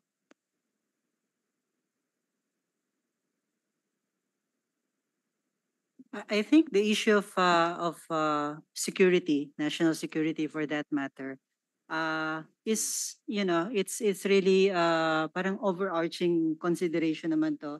Parang uh, regardless of whether we uh, we we we go by the uh, RBH 6 or, or or not, nandiyan nandiyan lagi yung ano consideration for national security. So again, dapat explicit na mayroong pa ring discretion ang presidente to determine which are critical uh, infrastructures and therefore not subject to total uh, opening to foreign ownership. I think, Madam Chair, if uh, if the language of the law is yung ilalagay lang yung unless otherwise provided uh, for by law, and our current uh, uh, our current legal framework is uh, the amended uh, Foreign Investment Act and then the Amendment uh, Public Service Act. Nakalagay naman yun doon. Thank you. Thank you, ma'am. Mm, Binabalikan ko lang po itong issue, uh, Mr. Chair, kasi maalala natin nung nagkaroon ng shutdown sa airport, nung nakaraang New Year at saka Labor Day, sinabi ko na hindi silver bullet yung solution na privatization dahil ang nakita kong mas problema dito ay kapabayaan, ah, hindi lack of funds o opportunities para sa modernization. NAIA actually generates an annual operating income of at least 15 billion pesos. This was pre-pandemic, of course, 2019. At nakakabawi rin ito ah, ngayon. Unfortunately, very little is left with MIAA for operations as 50% or more of its net income is remitted to the national treasury on top of the 20% national government share in the authority's operating income based on actual collections. Kaya hirap ang MIAA sa sariling upgrading at modernization. And according to the Workers' Union, Mr. Chair, the Samahan ng mga Manggagawa sa Paliparan ng Pilipinas or SMPP, 5 to 7% na lang ang budget para sa maintenance every year. Hindi parang kahawig halos ito ng Transco na kumikita naman ng 20 billion pesos kada taon pero ipinamigay natin sa lokal at dayuhang consortium ng NGCP para patakbuhin at pagkitaan. So sana we uh, does NEDA have any thought about that? What what we did to Transco in this whole privatization process? Baka si Yusek ba yun eh? No, no, no, just to say that uh, in the amended uh, Foreign Investment, uh, ah, sorry, Public Service Act, uh, there actually is a provision for the yung performance requirement, uh, monitoring uh, by the by the regulator. So merong mga ano, mga performance uh, parameters and uh, parang on this basis, uh, merong ano yan eh, may I believe may sanction na, na nandun. I just forgot kung uh, ano yung nilagay doon na, ano, na sanction. Pero kasama yun sa safeguard. Uh, with respect to Transco, I, uh, I'm not privy to, to that info unless si Yusek Agabi. Would Yusek Agabin care to comment on this, Mr. Chair? Uh, um, I'm sorry, I didn't catch the question, uh, Chair. The, I was uh, wondering about uh, how Transco was handled. You know, speaking of performance requirements, kung in terms of its financial uh, performance, it was it was profiting 20 billion pesos every year, but uh, we turned it over to the NGCP consortium. And in terms of performance requirements, I don't know how well um, uh, the uh, NGCP is acting as a as a system operator. um, uh, so, um, I think there are some um, sectors or there's some people who believe, um, based on hindsight, that maybe um, the national grid should not have been privatized. Um, but then there's also views which says that privatization actually worked because they were able to put in the the needed capital to improve the grid itself. So there's a there's it's mixed, uh, Madam Chair. Fair enough, Mr. Chair. Uh, Your permission, record. Sen. Yes, Mr. Chair. We're still paying the debts from Napocor. Ah. Bayad na ba yun? Yung from uh, the time of Nap- Um, when we are- Napocor, when the the whole uh, power sector was uh, in public hands. If you look We at incurred massive debts, di ba? yes, sir. If And look- uh, when when have we paid those debts already? we are still paying for Oh, some. we're still paying those debts, correct? If you look at your bill, you will see the universal charges. Um, UCSD is universal charge stranded debt, and SCC stranded contract costs. Those are the amounts we're still paying for, uh, Mr. Chair. A reminder kasi we often hear, not, not from Senator Risa, but from other sectors, na dapat gobyerno nag-handle niyan eh. Eh dati nga gobyerno nag-handle, tingnan nyo nangyari, di ba? Go ahead, Sen. Thank you, Mr. Chair. And uh, fair enough, USEC, it is a mixed record of privatization. Pero I'm glad na may openness of mind tayo na sometimes privatization is not the best mode uh, sector by sector or industry by industry sa ating uh, ekonomiya. Kaya uh, exciting din tignan kung paano mangyayari yung review at saka amendment or updating ng ng IPIRA. Yung huling tanong ko Mr. Chair, tamang-tama uh, Yusek Agabin is on board. It's for the DOF. Uh, ito naman itatanong ko sana kay uh, Sec Ralph uh, pero just in case you've had a conversation on this subject uh, with him uh, mula nung deliberation sa Public Service Act yung concerns nyo ba concerns ni Sec. Ralph ha on the protection of critical infrastructure nagbago ba ito? Kasi maalala ko rin, uh, my colleagues will correct me if I'm wrong, nung deliberation sa PSA bill, uh, may sinasabi si Sec. Ralph noon, Sen noon, masyadong loose yung definition ng public utilities to the point na kontra sa at least sense at spirit ng deliberations ng CONCOM of 1986. Naalala ko, uh, na, napansin ni Sec Ralph noon, Sen Ralph, na yung sea, uh, sa bill, yung seaport critical infra pero airport hindi. Uh, so uh, would uh, would the good USEC have knowledge kung mula no nagbago yung concerns ni uh, ni Sec Ralph dun sa usaping yan? Uh, interestingly, um, Mr. Chair, Madam Senator, when we did, we were discussing it, um, Sec Ralph did mention that he he voted against it. Those were his same concerns, and he actually said that, you know, I'm actually open to it when it comes to toll roads.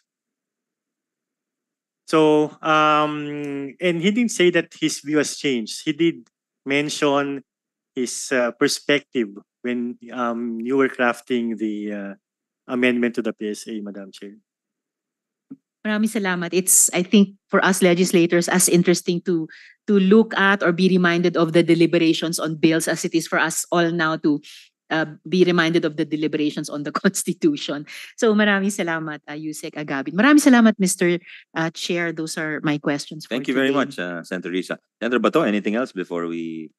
Uh, thank you. Uh, any last word from the resource persons? I, I'm sure we're all somewhat uh, exhausted from, uh, but from a very stimulating discussion. And uh, allow me to thank our resource persons, especially those who stayed, uh, and our colleagues, especially and Risa and those who came earlier. Any any last words uh, before we suspend the hearing? Uh, of course, we'll continue. The co- Chair. subcommittee will continue to have hearings uh, next Mr. week. Chair, Mr. Chair, Yes, who is? Uh. Dr. Santos here. Ah, Dr. Santos, yes. Online. Dr. Santos, go ahead. Yes, my my my last statement actually is um in relation also to the question of the honorable Madam Senator Risa earlier about corruption.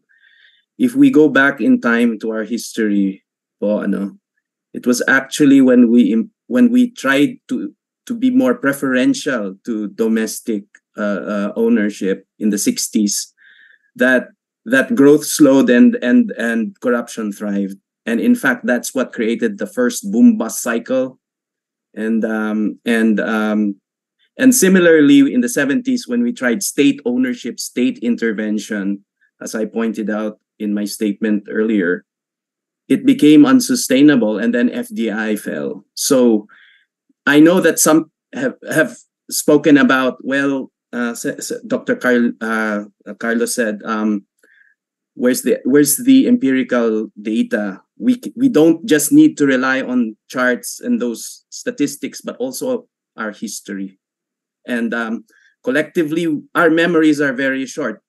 Very few really go back to 1902 and our history books don't actually talk about ho- where these economic restrictions arose. Why are we the only country out of the 18 that you your your your honor surveyed your your your people surveyed? Why are we the only country with these? And it was as i pointed out a strange quirk in our history in our in the origins of our country which eventually you heard of path dependent. Sorry professor fabella my professor will scold me for not mentioning this. We ended up following that ever since and in fact expanding it. So my last statement is if we want to truly enter a new phase a new era a new or bagong pilipinas the best way to signal it is to start to unwind the centuries old pattern of being close to the world and restricting um, thank you your honors thank you very much for your time appreciate it Mr. Chair. Thank you, Thank Dr. you very Santos. much. Uh, Senator Risa, then back to Mr. Peña.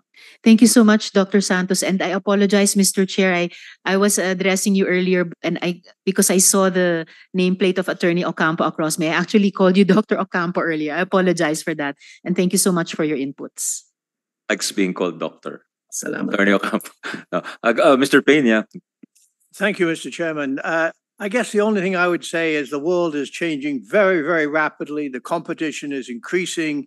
And if we want to keep up with it, we're going to have to, whatever we do, whether it's the bureaucracy, whether it's the legislature, whether it's the constitution, we're going to have to move nimbly and quick. well said. Uh, thank you. Thank you, everyone, uh, from uh, uh, our place. This has been a very uh, useful uh, exercise, and um, hopefully, you've convinced some of our colleagues, but uh, uh, we'll continue nonetheless. Thank you very much, uh, Your Honors, and uh, we appreciate your presence here this morning. We will suspend the hearings.